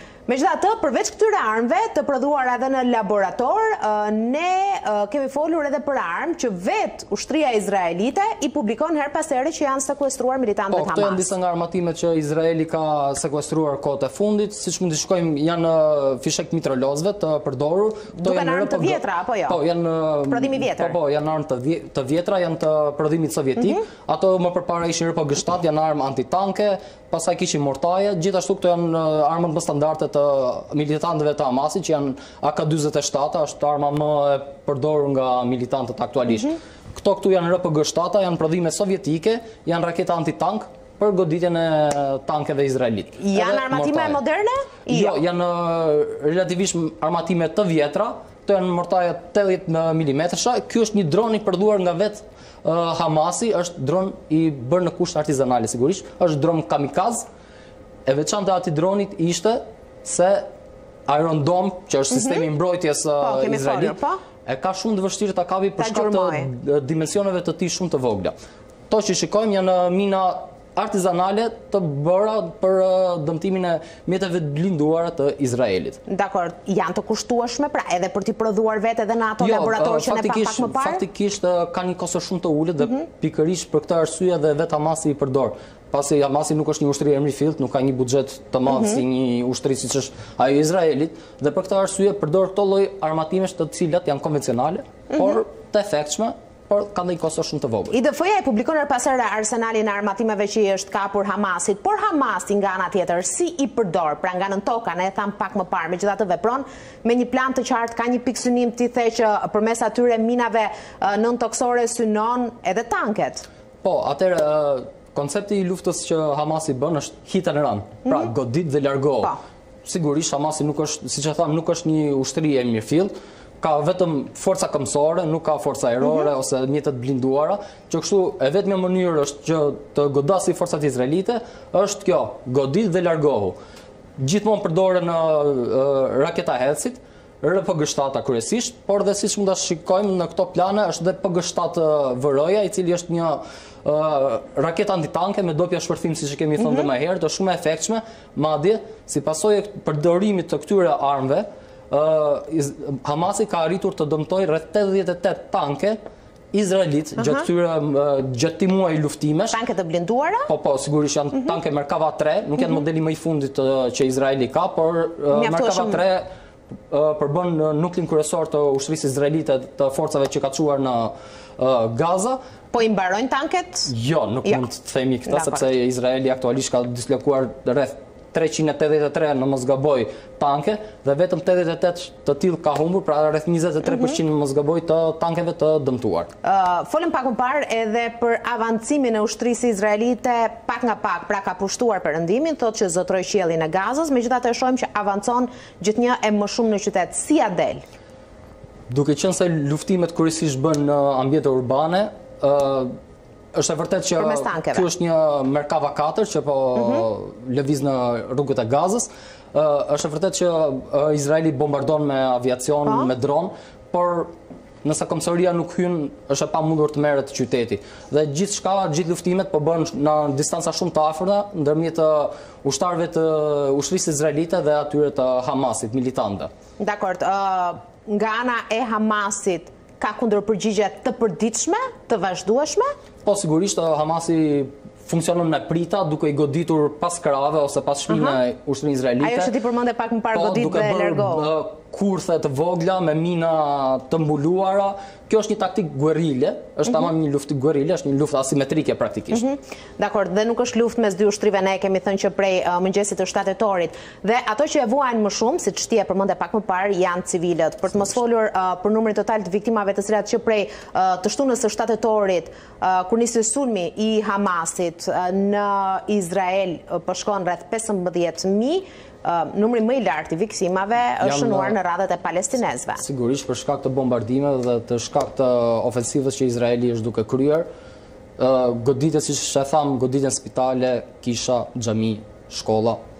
aty ka komplet civilë që janë strehuar mhm. për të gjetur një vend, për të siguruar ushqim, ose edhe për të qëndruar aty për të kaluar natën, humbjet janë shumë të mëdha. Këto janë të dhënat e publikuara nga Ministria Palestineze e Shëndetësisë, mbi 12.000 viktima në Gaza, 4.000 janë të zhdukur që nuk dihet ende ku janë, dhe ajo që është më shqetësuese është 3800 gra dhe mbi të gjitha 4000 fëmijë.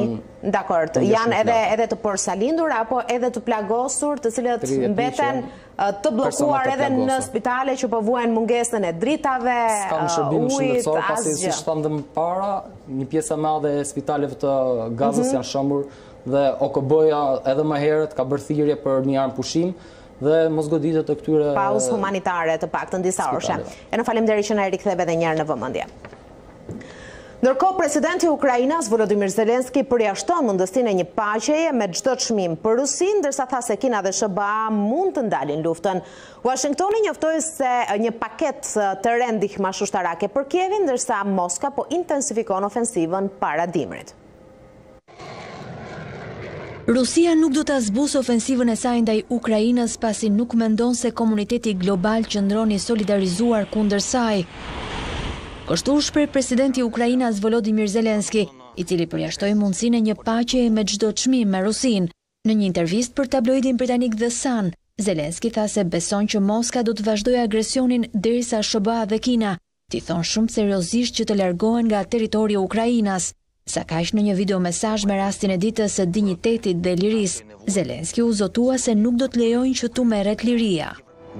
Njerëzit tanë po mbrojnë veten dhe Europën aktualisht, pasi ne kemi dinjitet dhe nuk do të lejojmë që liria të na merret. Zelensky i druhet zbehjes së mbështetjeve nga komuniteti ndërkombëtar mes konfliktit tjetër që po zien në Lindjen e Mesme dhe tejzgjatjes së luftës në Ukrainë. Megjithatë, në një mesazh se Shtetet e Bashkuara do të vijojnë të jenë në krah të Kievit, Sekretari i Mbrojtjes Lloyd Austin zhvilloi një vizitë të paparalajmëruar në Ukrainë. Gjatë qëndrimit atje ai njoftoi një paketë të re ndihmash ushtarake prej njëqind milionë dollarësh. Ajo përfshin sisteme raketore të artilerisë me lëvizshmëri të lartë HIMARS, dhe municione shtesë. Gjatë vizitës së Austin, Moska nuk i ndali sulmet në Ukrainë, duke goditur rajonet e Donjeckut dhe Harkivit, ku të paktën tre persona u vranë dhe tetë të tjerë u plagosën. Siç raportohet, raketat goditën një spital në qytezën e Selidove në Donjeck dhe një minierë qymyri. Ambasadori rus në Serbi thotë se Kosova njësoj si Ukraina është një vegël e Perëndimit që përdoret për të dobësuar Rusinë dhe Serbinë. Ai shton se Kosova do të shmangë formimin e Asociacionit, ndërsa paralajmëron se bota është para formimit të një rendi të ri. Moska vazhdon që të heqë paralele nga konflikti i Rusisë me Ukrainën me rastin e Kosovës dhe Serbisë. Ambasadori i Putinit në Beograd, Aleksandër Boçan Karçenko, përmes një editoriali në gazetën serbe Politika, përsëriti retorikën e zakonshme të fajësimit të Perëndimit për atë që ndodhi në Ukrainë. Diplomati shton më tej se Serbia, njësoj si Rusia me marrëveshjet e Minskut, po mashtrohet nga Perëndimi që, sipas tij, ndihmon Kosovën të bllokojë krijimin e Asociacionit të Komunave me shumicë serbe. Bocan Harçenko vazhdon me krahasimet, teksa thotë se synimi i Perëndimit në Ukrainë ka qenë shkaktimi i një disfate strategjike Rusisë dhe se e njëjta strategji po përdoret edhe kundër Serbisë, që po kërcënohet me sanksione nëse nuk pranon njohjen de facto të pavarësisë së Kosovës. Rreziku i projekteve të tilla po kuptohet padyshim në Serbi, të cilën perëndimorët po presin ta dobësojnë me metodat e provuara në fund të shekullit të kaluar, duke mundësuar dhunën e radikalëve të Prishtinës kundër serbëve në komunat veriore të Krahinës dhe në enklavat në jug të Ibrit. Ai thekson më tej se operacioni special ushtarak rus është krijuar për t'i dhënë fund planeve të Perëndimit, ndërsa sinjalizoi se një ndryshim i madh në botë po vjen. Bilanci global i fuqisë po ndryshon, para syve tanë po krijohet një rend ndërkombëtar më i drejtë, policentrik i bazuar në diversitetin kulturor dhe qytetërues. Ne jemi të bindur se kjo është rruga drejt mirëqenies dhe prosperitetit të të gjitha vendeve dhe popujve të botës.